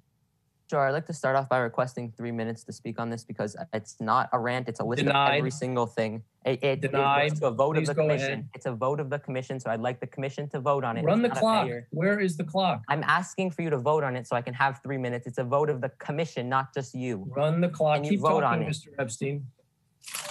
ridiculous. The only thing left out of it pretty much is a scepter, a crown, and a nice palace for you. This, All right. This gives that's you it. no. This Cut gives you him impugn off. power. Uh, take, on- take them off. That's it. Okay. Anybody else on that subject? All right. One more speaker. Next. I'm sorry. Oh yeah, more speakers. Okay, Diana, go ahead. Diana, please state your name and address for the record and your comments. Diana Gonzalez, 9325 Dickens Avenue. I think just those changes that you are analyzing right now is good. Just like you mentioned, because I was there when last time was Dietch, when Dietch even used the police to pull the people out, did you were disagree or something? That was really uh, horrible. I remember those experiences seeing the mayor using the police and putting the police in that uncomfortable position pulling out neighbors from the room. It was really disgusting. I think the change that you do try to be just something that is rational. I mean, and we don't have to use the whole time. And it's better to reduce the time because sometimes we are going around and around and around, or using that time just to insulting people or, to say things without a sense. Just something that is rational and it makes that things easy would be great. Thank you for your work, guys. Thank you. Thank you. Next uh, speaker who has not spoken before. Alicia Boymer, Boymer Green, please state your name and address for the record and your comments, please. Hi, Alicia Boymel Green, 9173 Carlisle Avenue. Um, If we're discussing meetings, I'd like to bring up the topic of when we're going to move back into chambers. Um, And enough with the Zoom. If we are continuing with Zoom, I think that something should be included about decorum for Zoom. Um, In terms of muting, which has become a problem here. And also in terms of um, commissioners being required to be present um, at their desks or, you know, in some type of professional environment while they're voting. Um, I've seen it in the commission meeting. I've seen it at some um, board meetings where people are doing a whole variety variety of things. I don't think it's professional, and I don't think that it's conducive to you know, the weight and the respect of the position that's required. That's all. Thank you very much. Uh, Okay, we're going to close the uh, public input on that. And I think we'll get, we'll get the commission a, uh, a clean copy and circulate it and see if we can get a draft that everybody's happy with. The next item is item C, demolition by neglect. Uh, I put this on, I just wanted to make the commission aware that, you know, we've got that uh, beautiful Art Deco building that's standing out there and is, uh, is potentially being, yes, thank you, Tina. I love that. And uh, that was good. That was good. You would have thought we planned it like that. Um, and I don't want to see that. I don't want to see that building demolished by neglect because in Miami Beach, the old trick was open the windows, let the roof leak, uh, let that simmer for about a year and a half, and then come to the commission and say, "Oh shucks, you know the building is uh, is uh, is is damaged beyond repair." Well, number one, as a builder and a a guy that did historic rehabs for 25 years, nothing is ever beyond repair. So we, you know, that excuse would never fly at this commission with me sitting here, and I don't think it would fly with some of the other commissioners. But um, I think we need uh, an ordinance that talks about that. And what this says is basically, um, if you neglect your building, and uh, you know, we will go in there and we will secure it. We will secure it. We will make sure at your cost that that building is safe and it's not demolished by neglect. So um, there is a Miami Beach draft, which I would like permission from the commission to get um, with Lily on and then bring it back at the next meeting for your review. We'll circulate it, of course, before the next meeting. And uh, hopefully we can uh, we can add that into our zoning code while we're uh, doing all the other work with our zoning code. Any comments? Tina? Yes. Um, so I, I, was actually speaking with, well, e- uh, emailing back and forth with Tony this week um, regarding, uh, you know, there was, I don't know if, how many of you know, um, the little house on 88th Street in Byron was dem- demolished. Um, we, we saw it getting torn down. Oh, yeah. And, um, you know, there's no protections in place for existing structures. Um, I, would asked to have that put into the new code that um, a building can't be demolished until there's a building permit in place. Uh, if you look at 88th uh, Street between Collins and Harding, that's been an empty lot for over seven years. Um, at on Harding and 91st Street, they had a their plan was approved and they demolished the buildings and we're sitting there with vacant lots. Um, houses too, they get torn down and, and the vacant lot sometimes it's there for like five years. And so uh, it was something I was trying to do, you know, when I when I first was elected um, um, five years ago, and it, and it just it morphed into something else. It was kind of I was encouraged and encouraged, and then it just fell apart. And seeing that um, house getting well, Tina, what specifically would you generally generally would you sort of like to see happen? Well, well, like seeing that other house being torn down. I mean, basically, you know, if it's to be demolished, it's inevitable, you know, because we're not dealing with historic structures. I mean, to some of us, it's historic, but it's not under protection. But ultimately, you know, um, for instance, a person buys an empty lot. They don't know it sat there before. Maybe they would want to preserve an element of it if if they saw that, but because it's gone, they have no idea. They're they're getting a blank canvas. You know, sometimes you get you, you see what's there and you say, oh, that's kind of neat. Maybe I'll keep that section and build up on it. You know, so it's just to um, really, really to protect this, this integrity of the character of the neighborhood. Um, you know, to a degree. You know, that, and if someone has a commitment to p- put a new project there, well, then just just so you, just so you know, mm-hmm. um, all all the hubbub about that uh, pre 1970 um, you know, where the residential, some of the people in the residential area thought it applied to their houses. And, and quite frankly, as I read it, it could. But uh, I think the intention was for it to apply to the older buildings on Collins and Harding. Um, it's getting rewritten. It was in the existing code. I did not put it in there, and nobody, none of us put it in there. But uh, it's it's something that we're looking at to improve the language on, and maybe um, that kind of dovetails with what you're saying. Maybe there's sort of a a process that would slow down the demolition a little bit. Um, I don't know that you can stop owner, homeowners from, you know, doing what they want to do on their lots, but um, certainly maybe there's a process by which we can slow the process a little bit, which would give us some time to reach out to the homeowner and look at all the options and maybe maybe have a different outcome. But right. I, I, agree with you on that. So yeah, um, I mean, it's I, not. I, I, know that we may not be able to stop the process, but it, it just like not leaving. You know, it's blighted when you have all these vacant lots too, and so you know, just not to leave it like that. Well, listen, I think that you know, it, it, some of these empty lots might look better than some of the wrecked houses that are on there right now. But uh, certainly if they're historic and they add to the charm of the neighborhood, I'm with you. Well, that's the demolition by neglect, you know. It's Well, easy to- It's easy to do in any situation. But okay, so we'll we'll have that. What I want to do is I want to get it'll be back on the agenda next next month, like the other thing, like the uh, like the conduct of meetings, and we'll have a draft on the conduct of meetings, and we'll have a draft on the demolition by neglect. Would anybody else like to speak on that? Yes, Madam Clerk, and then I'm going to get Nellie and Lily.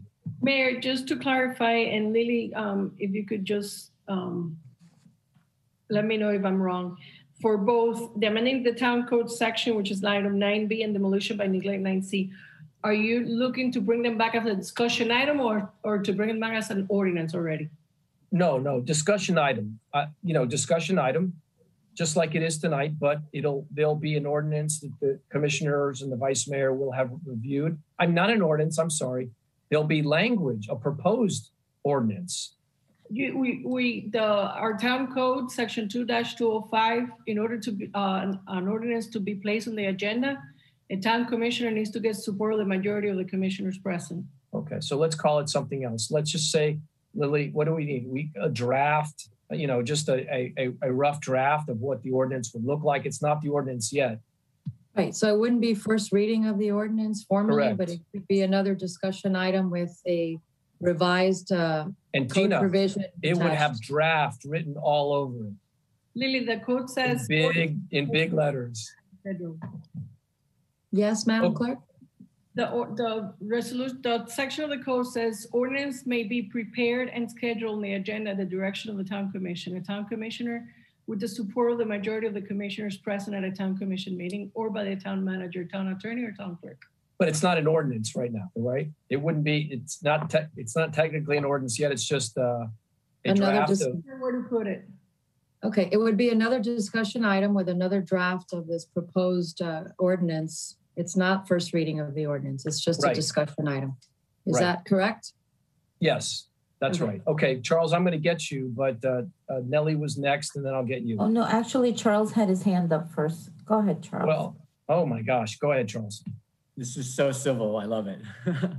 um, but my question is, is, is what's lacking in the existing code where we can't enforce safety issues related to an, to an existing property?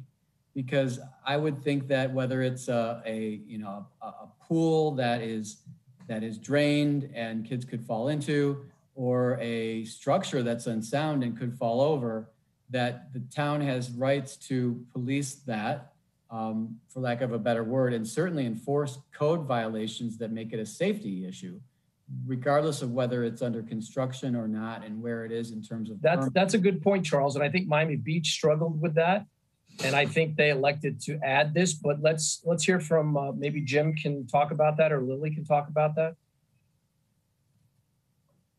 Jim, do you want to opine on that? Maybe his mic is not coming on.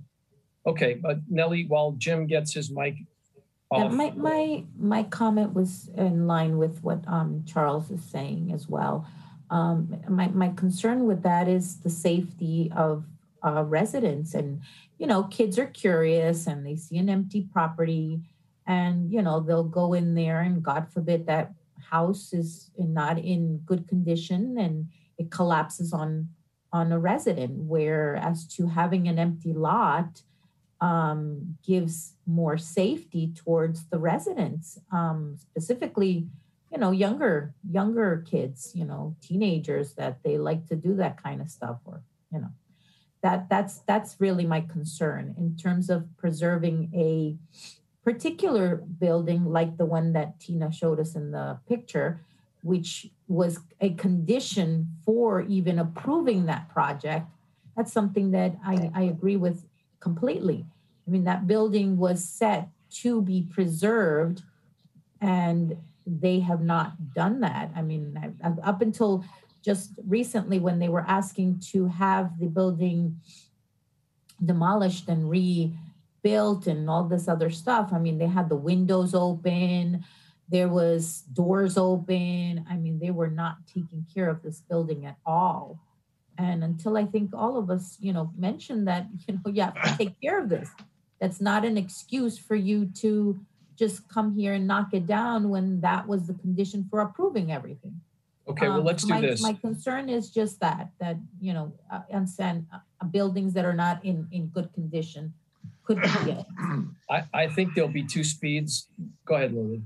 Yeah, I just want to say, um, good, good points from Commissioner Kesl and Velasquez. I think we need to look at this together with our property maintenance standards uh, ordinances and make sure that those are sufficiently in place to require people to maintain their property and what can the town do in the event that they do not do that.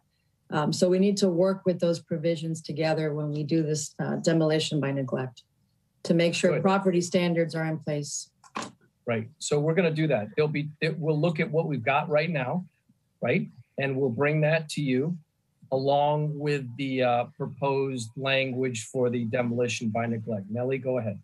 No, I just wanted to add, as a matter of fact, my neighbor, um, who's constructed a new house on this particular lot that I'm gonna discuss right now, he was getting a whole bunch of fines from the town and everything, and finally he um got his permits approved and everything, and he demolished the house, I think before even everything was done, but it was, it was very, the house was ugly, there was a lot of problems with the house um, the house needed to be demolished because it was it, it was an accident waiting to happen. And I just wanted to add, I think that what we need to also do is maybe um, give a better direction and guidelines to our design board. If what we want to do is preserve the character of our town, because if what we want is are that Mediterranean style that we already have and the one-story buildings and all this other stuff, then these are things that we need to really discuss uh, in a design board. So we're not continuing to get these more modern houses if that's what what what the direction of the of the commission is. Um but in in, in terms of um addressing the demolition i think it needs to be on a basis of the um the soundness of the structure Okay, Jim, um, you're, I, I don't want to put you on the spot tonight. Um, and I, I, I, you may not even have an answer and that's quite all right. No, no harm, no foul, but did you want to opine on what are, uh, any standards that you know about in our town right now? Or, you know, what exists? I mean, along the lines of what uh, Commissioner Kesl was talking about? Well, I can just tell you from my perspective, since I'm just uh, two days in town, and I am, do not have quite knowledge about the town's intent as to preser- preservation of historic buildings. But I'm a native of St. Augustine. I come from our nation's most historic city. And I know that if you dig a shovel into the ground, the new Hilton that went up there about 12 years ago, which actually was constructed to be period correct, you look at it, it looks like it fits right in with Old Town, yet it's right with the modern codes, completely up to date with the modern codes of that day. So it can be done. And and if you put a shovel into the ground and hit something hard, you get an archaeologist on the site. Now that's a bit of an extreme because this is not a 1565 city, but my my past in Venice, we had an architectural overlay district as part of the zoning code for the gateway to the city. Uh, many cities are searching for their soul statewide. And buildings should uh, be there on purpose, not by default or by decay. And I, I strongly uh, urge you to search your souls as to where you want this town to go. And many cities would kill for some arch, some type of history, some type of downtown with character. And uh, it's something, if you have it, uh, don't let it go by default. Decide yay or nay and pursue accordingly. That's my advice. Okay. I'm here to That's- help. that- I'm here to that- help that's- protect the Florida. building. That's great advice, Jim. Thank you. Um, we have design guidelines and I know that we're incorporating those into the new code. And Nellie, to your point, you're exactly right. Um, that's something that the uh, planning board needs to look at along with the commission and just decide, because that, I think, and I, I don't see that uh, George Kuzlis is on the call anymore, but uh, you know, that's exactly what George was talking about at the planning board meeting and at the commission. That's where the rubber meets the road. That's where we've got the power to sort of you know, push forward our vision of what the town should be like in those design guidelines. It's an extra layer of protection for us. Anyway, Tina, go ahead, and then I'm going to get the uh, the town speakers. Okay. Uh, yeah, I just um, to uh, what Commissioner Kessler and uh, Commissioner Velasquez said. Uh, a perfect example. There was a house on Emerson. I had gotten complaints from neighbors that um, it was, you know, it was kind of left derelict. There was no. Uh, they were working on it, and then they stopped. And this was like pre, like a week before COVID and uh, it had nothing to do with our, our uh, construction issues. And it was there was no fence around it. There were uh, lots of lots of openings, and and there are standards. And I had I had to report it to code. I had to report it to the building official because uh, it needed to be. You know, they have the homes have to be boarded up to a degree so that they're not open like that. It was definitely a hazard. We were lucky nobody wandered into there um, you know, there were a lot of concerns from the neighbors about animals possibly getting in there. And, and it took a, it took a while before we could actually get something done. And they, they started doing the work and they're doing a beautiful renovation of that home, which is really nice to see because it looked like it could be torn down because it was in such disarray. And if you pass by there now, it's, it's really quite beautiful. It's coming along nicely. So um, there, there's a lot of potential for, for that. Um, I think uh, it would be really beneficial if we have a joint meeting with the P and Z board so we can talk about all these things and learn their ideas and see what we can do to move forward because we're we're coming into uh, we have two different uh, sets of people trying to get things done here. There's new construction and there's uh, additions and renovations of old homes, and they need to be treated differently. And and that's part of doing a new code is is um, realizing that and finding a way for it to harmonize. So you, you don't have what what people are complaining about. The big house next to the small house there has to be a way to tailor that. You know i'm, I'm not against new new construction at all. It's not you know it, it's just about uh, respect for the character of the neighborhood and compatibility. And i think that's what we're all looking for. We're all looking for that and uh, we're going to have a fresh uh, version of the proposed code go around with the changes that that you all have talked about, and we will continue to work on it. And yes, we will have that meeting with the Planning and Zoning Board, and we will continue to have workshops. Madam Clerk, please bring in the first speaker. First speaker is Joshua Epstein. Joshua, please state your name and address for the record and your comments. Joshua Epstein, 9 through 17, Bay Drive. I want to say I'm obviously in support of this and mention the fact that I said nothing to warrant me becoming being muted at the last during the last topic. I didn't say anything inflammatory. I said that you were giving yourself additional power and it was a power grab by the mayor. Okay, that is Mr. all I Epstein, said, and that was are factual. you talking about that is it. demolition by neglect you Speak or of not? cancel culture, but you mute anyone who speaks out against you. It is That's it. unacceptable. It is Okay. not an Turn him off, authoritarian form of government. Turn him you will off. not succeed. Okay, next speaker, please. Next speaker is Jeff Rose. Jeff, please state your name and address for the record and your comments. Jeff Rose, 8851 Froude Avenue. Uh, I want to piggyback off what the, minister, the mayor said. It was definitely brought up about the design review guidelines at the, at the planning and zoning meeting, and that's definitely uh, I'm, I'm in agreement. It's complete support of that. Does need to be updated. Um, Vice Mayor uh, Vice Mayor Paul, I believe you. Uh, actually, I believe I know you can't do any demolition on any at least single family home without having an active valid permit. So um, I don't, I know the house that you're talking about, but I, they had to have at least an active permit to demolish the house. They may not have had an approved house. That's a whole other process that I'm sure, as we all know, takes a little bit of time. But I'm sure they had an active demolition permit to take that house down. Um, the other thing, um, what Commissioner Velasquez said, there are some homes that are not safe and should would be better off if they were taken down. Um, and there's also obviously tax reasons why people want to take down their house um, and just have it be a land while they're waiting to get their building permit. Thank you very much. Thank you very much. Okay, anybody else before we move on to the next subject? Okay, so we will bring that back at the next meeting. Uh, I, the next item D was deferred to uh, next month. Uh, item E is free hassle-free downtown parking for residents. Um, when I was the mayor last 10 years ago, I implemented this for residents. Uh, it was very, very popular, but over the years, uh, they began to add charges. I think it's $10 for each uh, uh, uh, decal. I don't think there ought to be charges, and I think that uh, some families have cars. I think we need to redo the the rules, but we need to encourage our residents to go downtown. Uh, I'm I'm going to be bringing back a.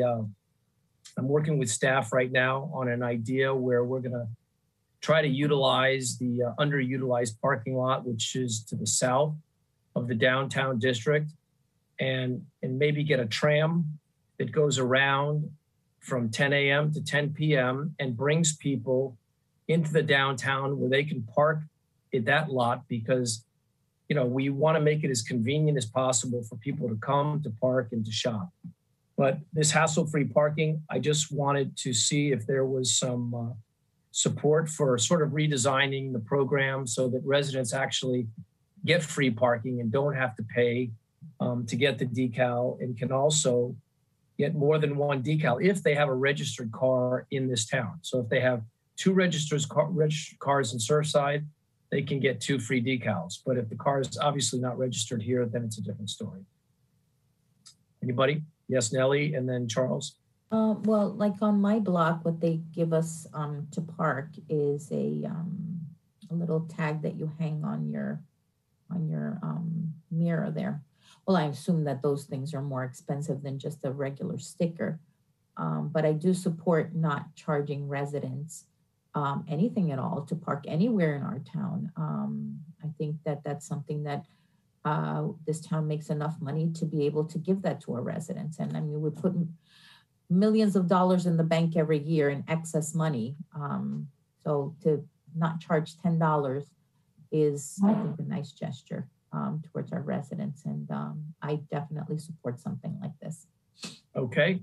Uh, Charles? Uh, thank you. Um, you know, this is a this is a case of like if it ain't broke, don't fix it. Um, in that it's a nominal fee that's charged. Um, I don't mind paying for it. Um, this is something that the town does that I think does work quite well. Um, that said, I'm going to give another shout out to the, the, the value of some easy tech solutions um, because this town has, um, you know, multiple ways to keep track of its residents, which are quite complicated and labor intensive and, um, and inconvenient for residents, uh, whether it's parks and rec access or the, um, the, the decal that goes on our cars to allow for the parking um, or trying to find phone numbers to call people in a crisis like COVID um, or update the email list serve.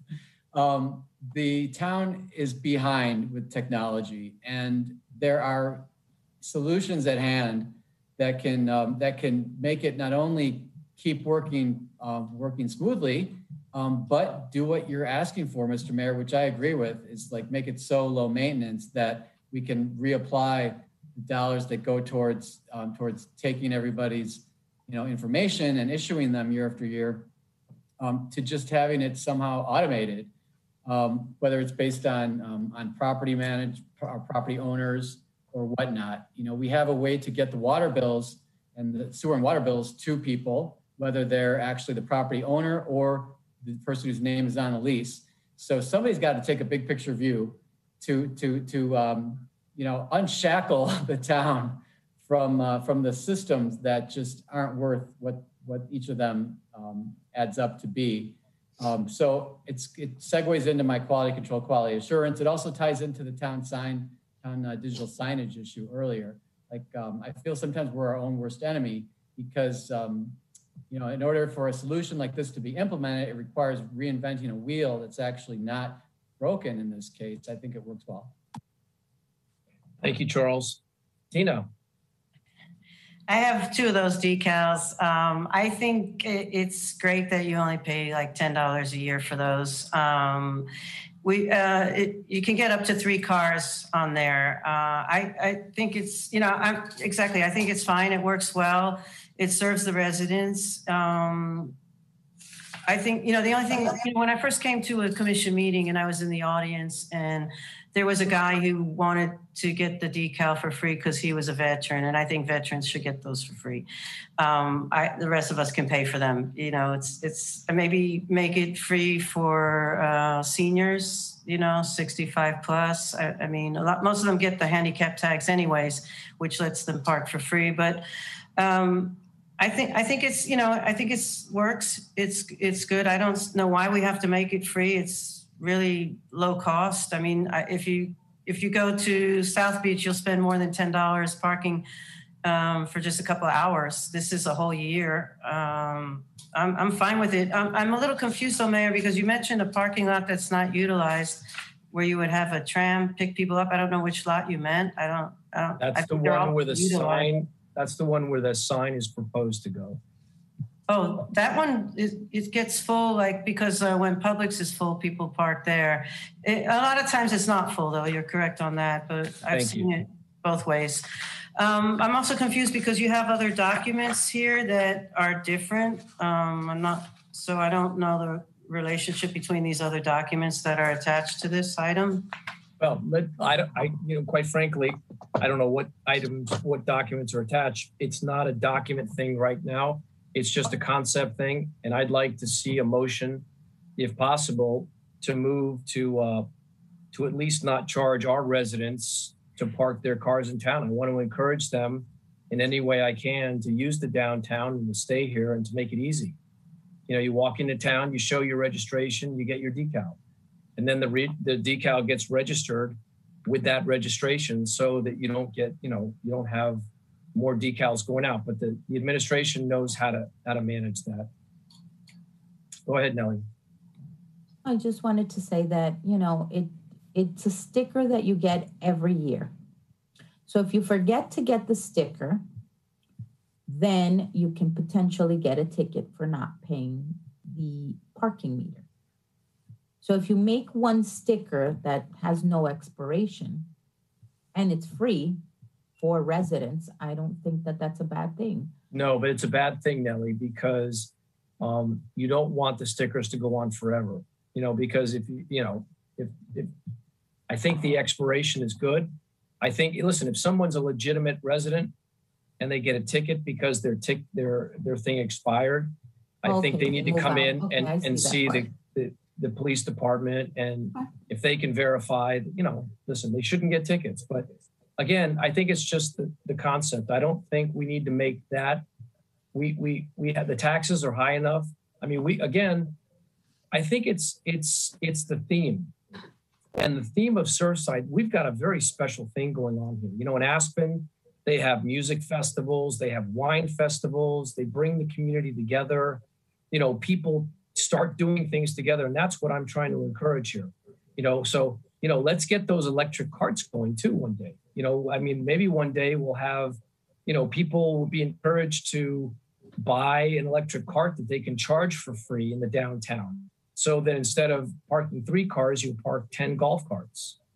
And you know it starts to become a real community because we've got stuff that nobody else has. Hey we've got free parking. You can go to the store in your cart and charge it there. We've got cool stuff like that. So i think it's just a matter of thinking a little bit out of the box and uh, i just was hopeful that this wouldn't be too difficult to get past because i think that we've got plenty of money um, to subsidize our, our residents for free parking. Go ahead charles. Sure, I would, I would gladly do it actually if it was tied into some kind of easy solution, like just taking the, the vehicles that are registered in this town in Surfside and doing, you know, blanket import of them into the database because it's all um, not toll by plate, but it's all, um, you know, ticket by plate anyhow. Um, in terms of in terms of keeping track of the cars and how long they've been there. Um, you know, it's it's all digital. We're we're not actually having anything monitored in the window or um, anything like that. So I think. well listen that that idea is is know? spectacular you know if if that can be done that's spectacular but i think it starts with a motion uh, from the commission to say hey listen we want free and hassle it says hassle free you know that's the whole idea not just you know free but hassle free free Yeah, hassle-free parking. Nothing would be less, less of a hassle than if it's automatically in there because my car is registered here in Surfside. Okay, well, let's, let's figure out how to do that. But no, And I I'd like have to a throw in the. Parks and Rec into that too, because Parks and Rec, I think, is the, is, is even more of a headache to get access to. Where every year each individual has to show up with, um, with bills and tax records and all sorts of stuff. Um, But that's, uh, that's my vote for like a, you know. um, Can we do one thing at a time? solution. Okay, I think, wait, wait, I think Nellie had a comment, then Tina. No, I was just gonna say, and um, how much would something like that cost? I mean, I think that you're talking about something that's far more expensive than maybe just getting a sticker. I'm, I'm, I'm I don't know the cost of these things, but I know that these programs can get very expensive. Um, and then would You it mean, be? you mean the Parks and Recreation idea? No, no, no. The um the idea about digital um putting everything digital, like people's um plates in in a system and have them um I guess the guy would come around with the little scanner or something and scan the plate and know that this is a resident or something to that nature. Um and and the other one would be, I mean, would people have to register more than once or like the same kind of sticker thing? Would it be like every year? That's a good, that's a good question, Nellie, just for fun. Um, Maybe put this like on the, on our But, website? but hang on, what happens, what happens if, if, if you go to a car and it's registered in Surfside and it's parked? Wouldn't that be enough, Charles? Um, yeah, that's what I'm saying. And I'm just, I'm just shooting off the hip here, right? Um, because, um, I haven't done the research, I haven't thought about it, but obviously if we, if we have, you know, um, monitors, like whether in Doral or Surfside or whatever, that actually scans people's plates as they go through and see if they're wanted, then they're all coming from the same state database, which certainly drills down to Surfside residents. And, um, and it just is kind of one of those solutions where it might be a simple, obvious kind of free one, actually, Commissioner Velasquez, that doesn't have much overhead. Um, but everything does have cost because you still have somebody in the, some personnel and staff that are actually overseeing it and, and doing that. But it's those types of, um, types of technological solutions that are all around us, but we just don't have that many people that, that are aware to, to actually think about them. Because right now they're, I think, outside of the town's box, so to speak. Well, listen, they- they're, they're, Tina, go ahead. Yeah, um, I I was just gonna say, like, you know, I think the ten dollars a decal is really kind of an administrative cost and the cost of uh, probably producing those decals. And really, um, what I think, what I'd like to see that I think if you want to make it hassle free, because it's really not a hassle. You get you get it and you have it for the year. Uh, to make it hassle free would be that, like, let's say I have I have the decal. I've had the decal. I have my car five years, so I've had the decal for five years. So um, but every time I get it, I have to show my registration, but they know me. And so maybe it, once you have the decal, you should be able to renew it easier, you know? Well, how about if they, if they have, if they have your registration the first time and it, the registration's in your name and you show your license, you shouldn't need to show your registration again. Well, but I mean, I just had to renew my license plates, you know, and, and uh, you have to do that every year too. But maybe you got I a different car. car yet, but Maybe, maybe you got a different car and you registered your car to be in New York now. Well, So, well, that's I know that's the issue, and I think that's why it has to be done annually, is because people move. So you can move and still keep the decal. So, you know, I, okay, I well, look, I, I think, I think the issue is now tonight is I, I just proposed that it be free and I proposed that it be hassle free. So to the extent that I think making it free would be the first step and then figuring out how to make it less hassle worthy would be the second step. And I think that the staff could do that. Okay, I wasn't, I wasn't finished talking. Go ahead. Um, Yeah, no, I, I mean, I feel like, you know, it, it would be good if there's a simpler way to renew it. And, and that comes down to what uh, Commissioner Kesl said about the community center cards, because, um, you know, that, that's more of a hassle to have to renew. But I mean, things aren't, you know, these rules are put in place because people move and then they could still try to use the facility. So the same could go for the parking. And so, um, I think, yeah, it, what we have works. Um, you know, I, I think as, you know, just as staff knows people and they know they're still residents here, then it would be good if it could be a little Okay. smoother. Two different Yeah. issues, two different issues, Tina. Okay, One yeah, I is- know that. One is the hassle-free and one is the uh, cost. Okay, well, I'm fine with the cost. It's, you know. Okay, okay, Nellie? No, I was just gonna say, I mean, maybe something that um people can do it online, like what Charles was saying. Um, but more that, you know, you just put your, you can scan in your registration or something like that. Now, most of these things come with barcodes and different things that could make people um it make it easier for people to re-register, renew their their um sticker All of that. um, in terms of whether it's free or not, I mean, I agree with it being free. I don't, I mean, there's so much money that I don't see why there's no, a reason that Well, we listen, I- charge our let me, let me do this.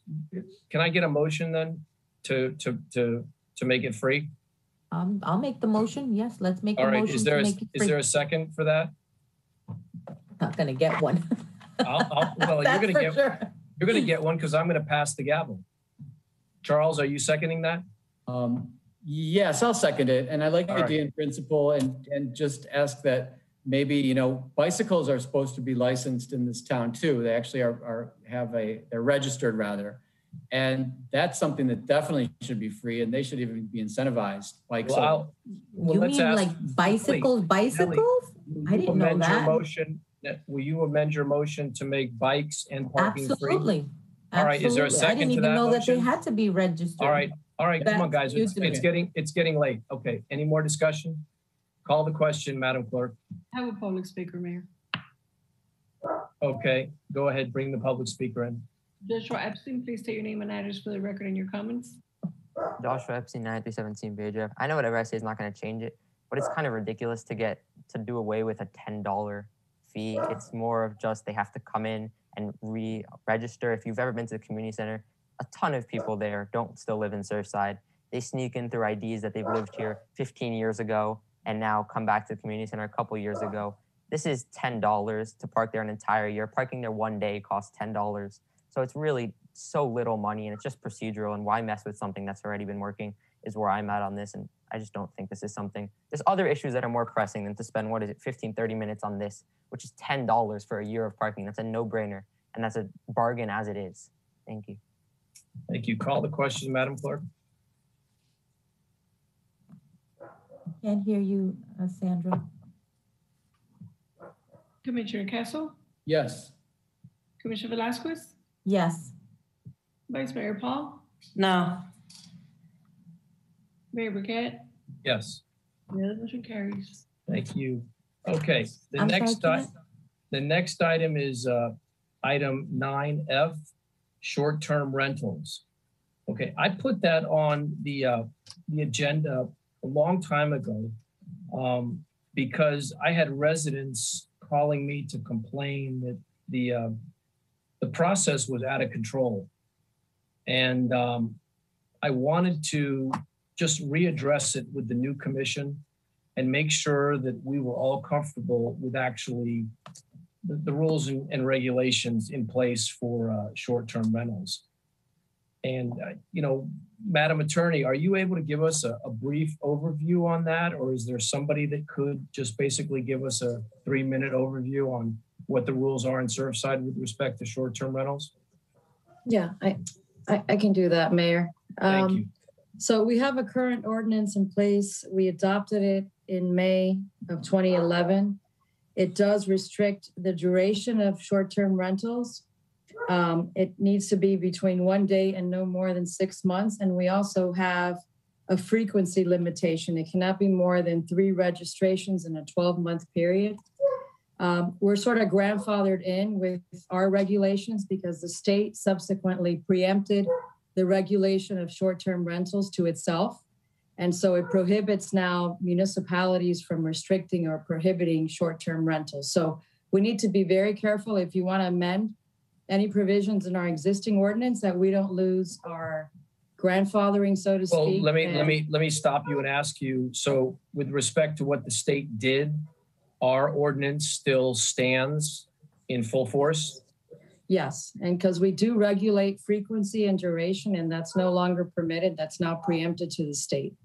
Okay. So uh, And- we cannot modify those provisions without losing our, our status or our grandfathering.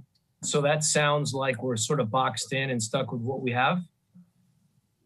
And I don't know if it's good or not. I, I mean, Well, it Well, I- depends what, what other areas you would look, like to amend or look into. Well, I, I think that the question I, I saw from the residents that I spoke to was that there were no enforcement um, mechanisms, meaning that, you know, you had some residents that were renting over and over and over for a very short period of time and bothering their neighbors in the condos and creating a nuisance.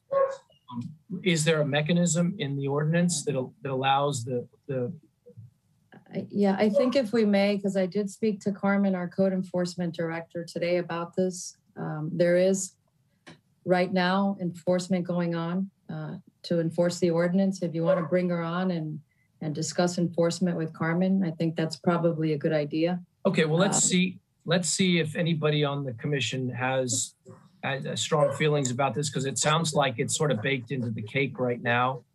Um, and unless somebody wants to sort of understand it a little better, we'll on, but go ahead, Charles. Um, yeah, this was something that I agree with you, Mr. Mayor. We were, we were getting a lot of signals that it wasn't working. Um, it was hard to enforce. Um, and it depended on which building you were in and who you talked to at the town, you know, what the deal was. But, um, um, I, based on my observation, you know, tossing it to the new town manager, who's no longer that new, and, um, and Carmen did a code enforcement corner on it. And it seemed to really clarify what the issues were and um, and straightened out people who thought that there were different sets of rules being applied for certain special treatment.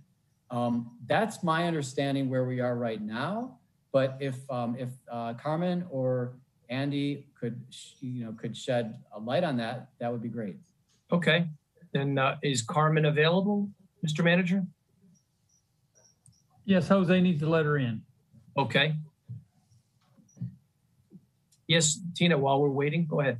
Okay, so um, yeah, I I have to say um, the short-term rental has been in place. Um, you know, like Lily said, and I, I mean, if you remember what Senator Pizzo said, they're still talking about it. The state still wants to preempt us. This is a hot issue in every municipality, and uh, we're fortunate to have something in place. So I wouldn't touch this.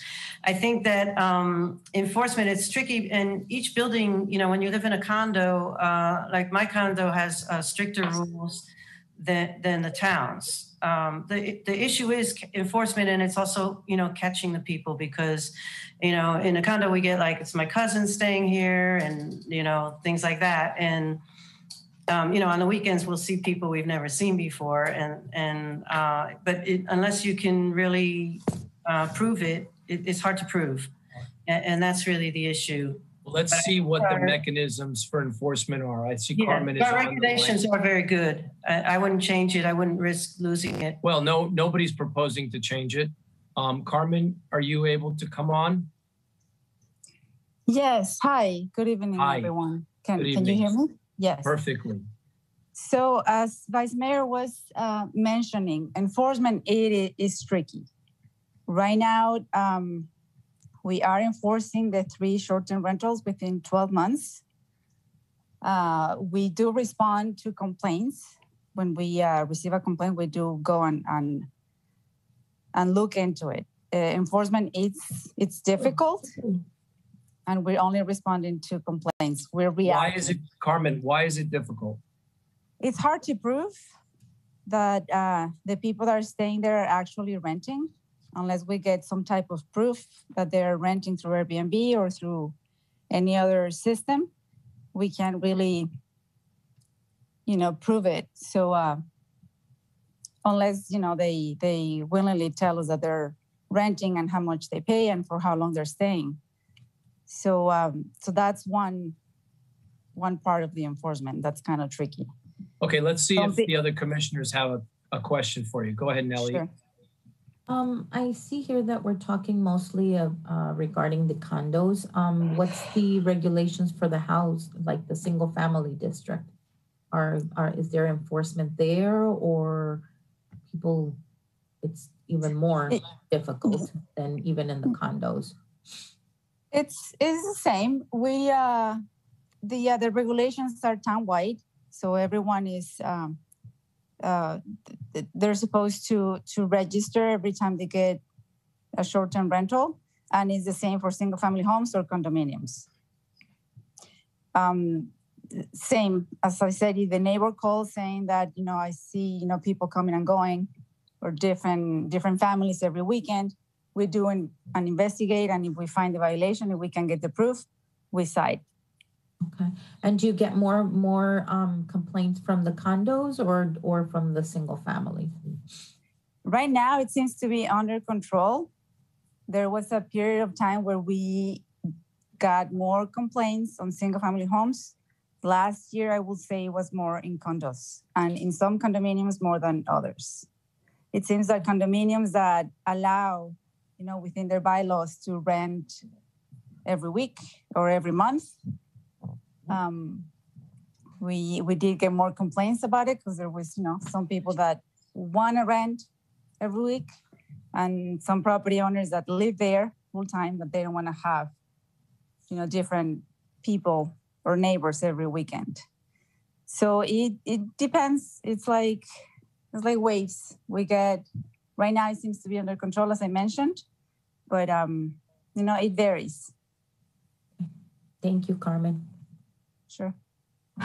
if i could just ask while the mayor stepped out um, if the condominium has bylaws that allow for more rentals, like every week even, which is more than what the local ordinance allows here in Surfside, um, can't we apply pressure to have them change their bylaws so they're in compliance?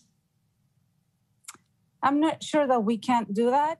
Um, but however, they need to to comply with the town code. So whatever is more restrictive is what they need to comply with.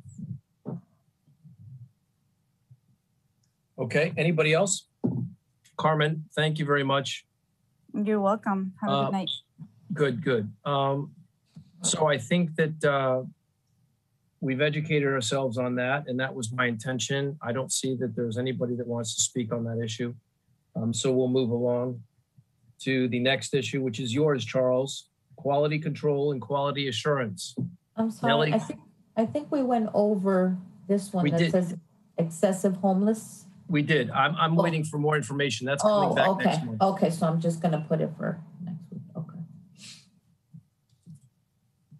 Charles, your mic? Uh, yep. Thanks, Mr. Mayor. And I actually have a presentation. If Jose has it in his back pocket, um, you can bring it up. Uh, Hopefully, hopefully I'll remember what the presentation is. But, Uh, um, and if you, if you have to look for it, I'll just wing it. When do you send it to me? I don't have. Oh, this is, well, this was sent to you probably three meetings ago because I thought that we actually might get to this item. Uh, let me check on my emails. Give me one second. Okay. So Now, Charles, you have to entertain while you're waiting. Sure, have sure. I'll, I'll do my visual. Uh, exactly. Hand speaking, make gestures. But this is something that, um, you know, is, is um, on the surface hard to implement, I think. People think, oh, if we're going to be qualifying or quantifying measurements for success with every project, that it's going to be this tremendous overhead, et cetera. And, um, and I think that's why it gets left by the wayside. But with this discussion point, I'm here to argue that by adding measurements of success, quantifiable measurements and goals to pretty much everything that we do, it puts a value label, value tag on our initiatives, um, on the work that the town does, and it makes it harder then for people to just forget about it. And and uh, whether it's whether the people are the residents, um, an evolving town staff, and who makes that up, um, the evolving members of the commission. Um, and, um, and when something has value, it's very easy to speak to residents and others um, about, about um, what value our decisions bring to the table. So let me just sum up, like for consideration, where you can attach SMART goals are setting goals to make sure that they're specific, they're measurable, they're achievable, they're relevant, and they're time-based, all right? Um, and under consideration, we look at when we make decisions, the costs, both short-term and long-term, both direct and indirect, the impacts on the budget, to the environment, for example, um, to staff and the support needs. Um, I like to, I really like to look at feasibility, and that really has to do largely with does it fit with the town and can it work? You know, is it is it a workable idea? Um, we come up with ideas, for example, on Collins to maybe, you know, the vice mayor has said, oh, we can put in some standing or some loading zones on Collins. Um, also, somebody mentioned the um, the um, 45 degree parking rather than um, rather than the parallel parking, which is hard for people to do. Um, that perhaps you get more more slots. Um, so that's something that can be measured in terms of of what income you know brings the town, in terms of you know communicating with the business owners downtown to see if their sales have gone up, um, if um, if they were able to to support more customers over a given period of time, as we propose to make changes to the to the parking situation and, and the parking rules.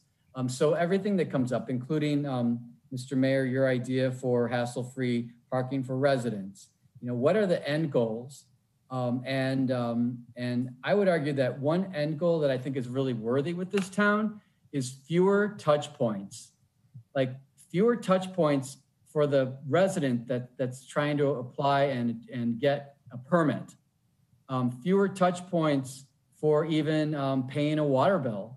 Fewer touch points for um, for um, you know getting access to uh, to a parks and recreation pass let alone making a, uh, you know, scheduling an appointment to swim or to uh, have a match at the tennis center. Um, and with those types of goals, we can, we, can, um, we can see how our initiatives actually work or don't work and what kind of impact they have on everybody. Um, I, from what I see at the town, especially with the buildings department, um, you know, to a lesser extent, code enforcement, um, they are really dying for some, some real simple workflow solutions um, that that are often tied to technology, but it's also tied to, to smart goals. Like um, if we're turning around permits in X number of days, how can we lower that goal and make it achievable and realistic? Um, if people have to make you know 10 touch points in order to get their permit, how can we maybe move that down to five? So, and this ties into being able to measure the success of a project so that so that after it's after it's rolled out, what are we measuring and what are we measuring against to define our success? I know that for myself, even as a commissioner, um, a lot of times I'll vote on something and then I'll wonder, hmm, I, I wonder how that's going to be, um, be how that's going to result. What is what's going to uh, to be the end result? So if by putting value on things, um, it doesn't mean that we're only a value-driven society but it allows for justification and allows for understanding over time. Um, so next slide, please, Jose. I think there you go. So, you know, that way you can have meaning across groups. We've got boards and committees that look at certain issues and then try to translate their, make their suggestions that, that, that trickle then up to us. And we get, we need the town staff to buy in really to it. And, um, and I would argue that when the town staff doesn't buy in, um, you know, we see it and, um, and we get pushback. It may not be, um, it may not come across in a verbal sense. They may not explain it, um, but we saw that pushback certainly when we, um, you know, when we encroached on, on, uh, on trimming the budget and um, during, you know, during COVID and its unknowns. Um, we got, you know, we got some tremendous pushback and that was a learning lesson for me. So you know, for residents, for future residents, residents, and for future decision makings, decision makers. Anytime we can we can um, put goals and value to our projects, it gives it meaning over time across groups. Uh, next slide, please. Um, so therefore, um, you know, and, and assessing the state of things, and we all know that, um, you know, people like to see numbers and people like to see proof and um, and we see we see that in a lot of aspects of um, of business, society, even government, where they say, you know, what is what are the dash what's the dashboard and what are the metrics that we're tracking for success to monitor this monitor this project. Uh, we saw a lot of metrics being used to monitor COVID, certainly. Um, and then when we look to the police department, we were looking at, you know, number of stops, number of tickets, um, number of, um, of, um, of different initiatives from code enforcement and the police department for COVID, and then also related to traffic safety. Um, you know, we look at some of those statistics. Um, so, um, you know, to have assessments done so that we can have thoughtful, lasting impacts on health, safety, and welfare, and then sustainability and resiliency um, defined, you know, for the future, um, which is just the next few years as we're looking at the, um, you know, the idea of undergrounding the utilities. Um, but then, you know, 2050 sounds like a long way away, but if you get a 30 year mortgage, you're going to be here for, for till 2051. and, uh, you know, and, and we have to be making decisions that are actually going to have, um, have a substantive impact that can be quantified. Um, so I think about this as we, as we look at the charrette and as the think tank, then we look at our master plan, and then we look to, to zoning and code and how to better people's lives. And that could be defined as well, you know, with, with um, measurable um, energy savings, for example, calculated on a house. Um, you know, if you're if if we're, if we're trying to keep people out of the shadow of high buildings next to them, then we can actually calculate a, a um, you know a, a direct angle of openness related to sunshine coming in.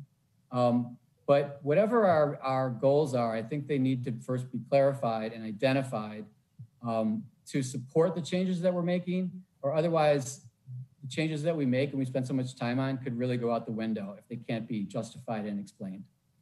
Um, next slide. Um, so as I mentioned, um, you know, assessments. Now it sounds sounds really um, overwhelming sometimes. Oh my gosh, we got to do an environmental impact. But there are actual ways to, to do it that you don't have to hire a bunch of, of, of expert people to conduct, um, you know, studies that go on for months, if not years. Um, it can just be like a, a, little like cheat sheet checklist that's done inter- internally um, to kind of give the heads up so that we're not surprised when other things are, are, are showing up when we make decisions. Um, so as I mentioned, different assessments that can be done. Um, one that I didn't ma- mention, um, although goals and success milestones, people generally love that one.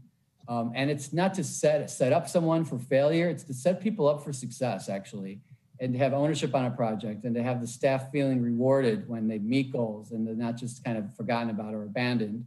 Um, but I didn't mention risk identification and mitigation.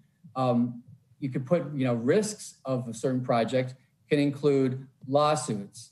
Um, they can include um, um, bad social media, bad press, um, you know, lack of understanding, all these different things. But then you get ahead of how to how to identify. Since you've identified the risks, they're not a surprise then when they do come up. And we have a lot of these um, a lot of them are often the same like um, you know complaining on social media or um, or um, threats of litigation right? We get those a lot. And sometimes the litigation the threat of litigation has a little bit more potential for um, a real impact than others which are just um, hot air. Uh, next slide please if there is one all right i think that's it oh here we go so tracking i mentioned the dashboard of key metrics performance goals and therefore, you can actually adjust things and readjust them as you move forward. And, um, and it can be part of the plan rather than having to, um, to come back based on whether somebody's paying attention or not to remember that that, that that was something that changed and needs assessment and readjustment over time. Um, so these things don't have to be overwhelming. We can start small. Um, in fact, we have with some things. I, I hear these words coming up um, now and then more often. Certainly, how are you going to define success? Um, that comes up more often. Um, but it's only to our benefit to make sure that we're not wasting our time and that we're making decisions that will impact the town positively um, over time and that that can be understood and, uh, and supported and justified over time. Um, and next slide, there's another one. Okay, challenges. Um, you know, yeah, the management and its leadership, the organization, are they able to to to um, to buy into this and support it? Now, these are challenges. They're not pointing out weaknesses or something that's unique to Surfside. This is for everybody. Um, is it bankable? Is it worth the investment and upkeep? Is it the right fit for the town and its people? You know, um, we we say certain things aren't the right fit, like like skyscrapers that uh, that take up every square foot of our property property uh, lines, um, but that isn't necessarily true for other towns. Um, so it just doesn't fit Surfside, and that's been defined over time, and we should can, you know see how we can enshrine that. Um, feasibility, meeting a need based on programming, for example, a need that really exists, um, or is it something that's not necessary? Um, is it feasible given the competition? How are we differentiating ourselves? And then, as I mentioned before, always looking at risk and overhead, but not being afraid to make big, bold decisions as, as we talk about frequently. Next slide. No more slides. That's it. All right. See, I wasn't sure how many I did, but um, you know, I I uh, I very much advocate put building this into our projects and our decision making process whenever possible. I think it's good business.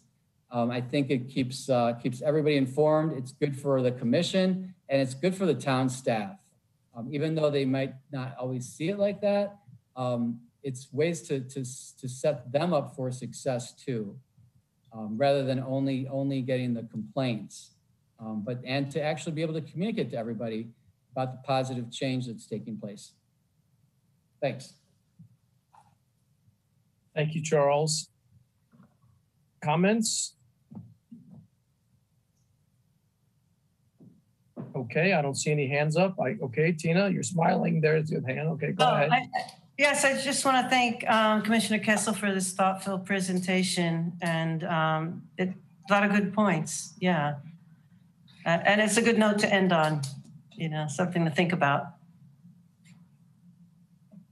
I agree. Good job, Charles. Thank you. Thank Nelly? you. Can't hear you. Nope, can't hear you, Nelly. I'm going to assume it's nice though. Thank you all three. Yes, I hear. I so thank you to my fellow members of the commission. My my pleasure. Um, Mr. Manager, we've got uh, four minutes left. You, you have an item on there. Can you do it in four minutes? Yeah, actually, I think Randy's going to lead you through that. There's some things he's already done in conjunction with this. So there he is. Okay. Hi, Randy. Three minutes, Randy. Good evening, Mayor, Vice Mayor, Commissioners. Uh, th- this was actually a, uh, an item that was brought up to you guys, uh, the- or the commission, um, early on, I think right after you guys, uh, were, um, were, uh, voted into office. Um, wh- what ended up happening was that the, uh, the commission requested a survey for anybody that wanted a light to, to sign up on the, um, on the website. We did that for 30 days. We actually extended it for 90 days after the uh, um, the pandemic had started, and uh, anybody that wanted a light signed up, and we completed uh, that task. Um, I, I, I, my recommendation for any extra lighting from this point on be held off until after um, the uh, the undergrounding because all of those lights that we have in the residential right now are con- are connected to the poles that we're going to lose. Okay. Um, Great, Randy. I, I want to tell, I, I know Randy's been working on this because we've had a couple lights in my area of town that were defective and not working properly. And he worked with FPNL to uh, get that situation straightened out and did a great job. Thank you, Randy. Go ahead, Nellie. Uh, can you hear me now? Yes. Okay, perfect. Oh, no, uh, what I was saying before was that that was a great presentation and thank you very much, Charles. That was um very good. Um, I also like to get a copy of that. That was really good. Um, and Randy, I I'm glad to hear that we've um put all these lights out that people have requested. I remember that we went out at the beginning um and assessed a lot of dark areas um all over town and I'm happy to hear that that these lights have been put down. Thank you. Uh, put up, sorry. Thank you. Anybody else? Sure. Yes, Vice Mayor. Yes, so, um, yes, I'm happy to hear the report from Randy as well. I haven't, I mean, when I'm out there, the streets are, do look pretty dark still. So, um, my only suggestion would be, if we're not getting requests for lights, that's, that's fine. Um, since, since Andy lives in town, um, he could also maybe go around with Randy and look at the areas and see where, uh, we might, uh, want to add lights in and, and maybe check with the residents that live there to, to see that they want it, because some people do like it dark. Um, but in the past, people have said they wanted lights, and I I haven't heard anything recently. So, good job. Yeah, I, Tina, make, Tina, I just want to echo that that sentiment because there are times when there's too much light, and it it affects uh, it affects people being able to sleep well. So I think there's a there's an important balance there that we've got to achieve.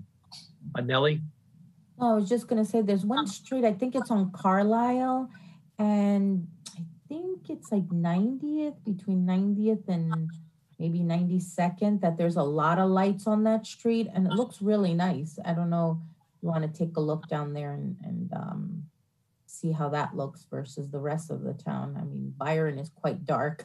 So, um, and, and I'm glad that we just, I just noticed the other day, we got a light right here in the corner that was out for years. So that was great. Thank you.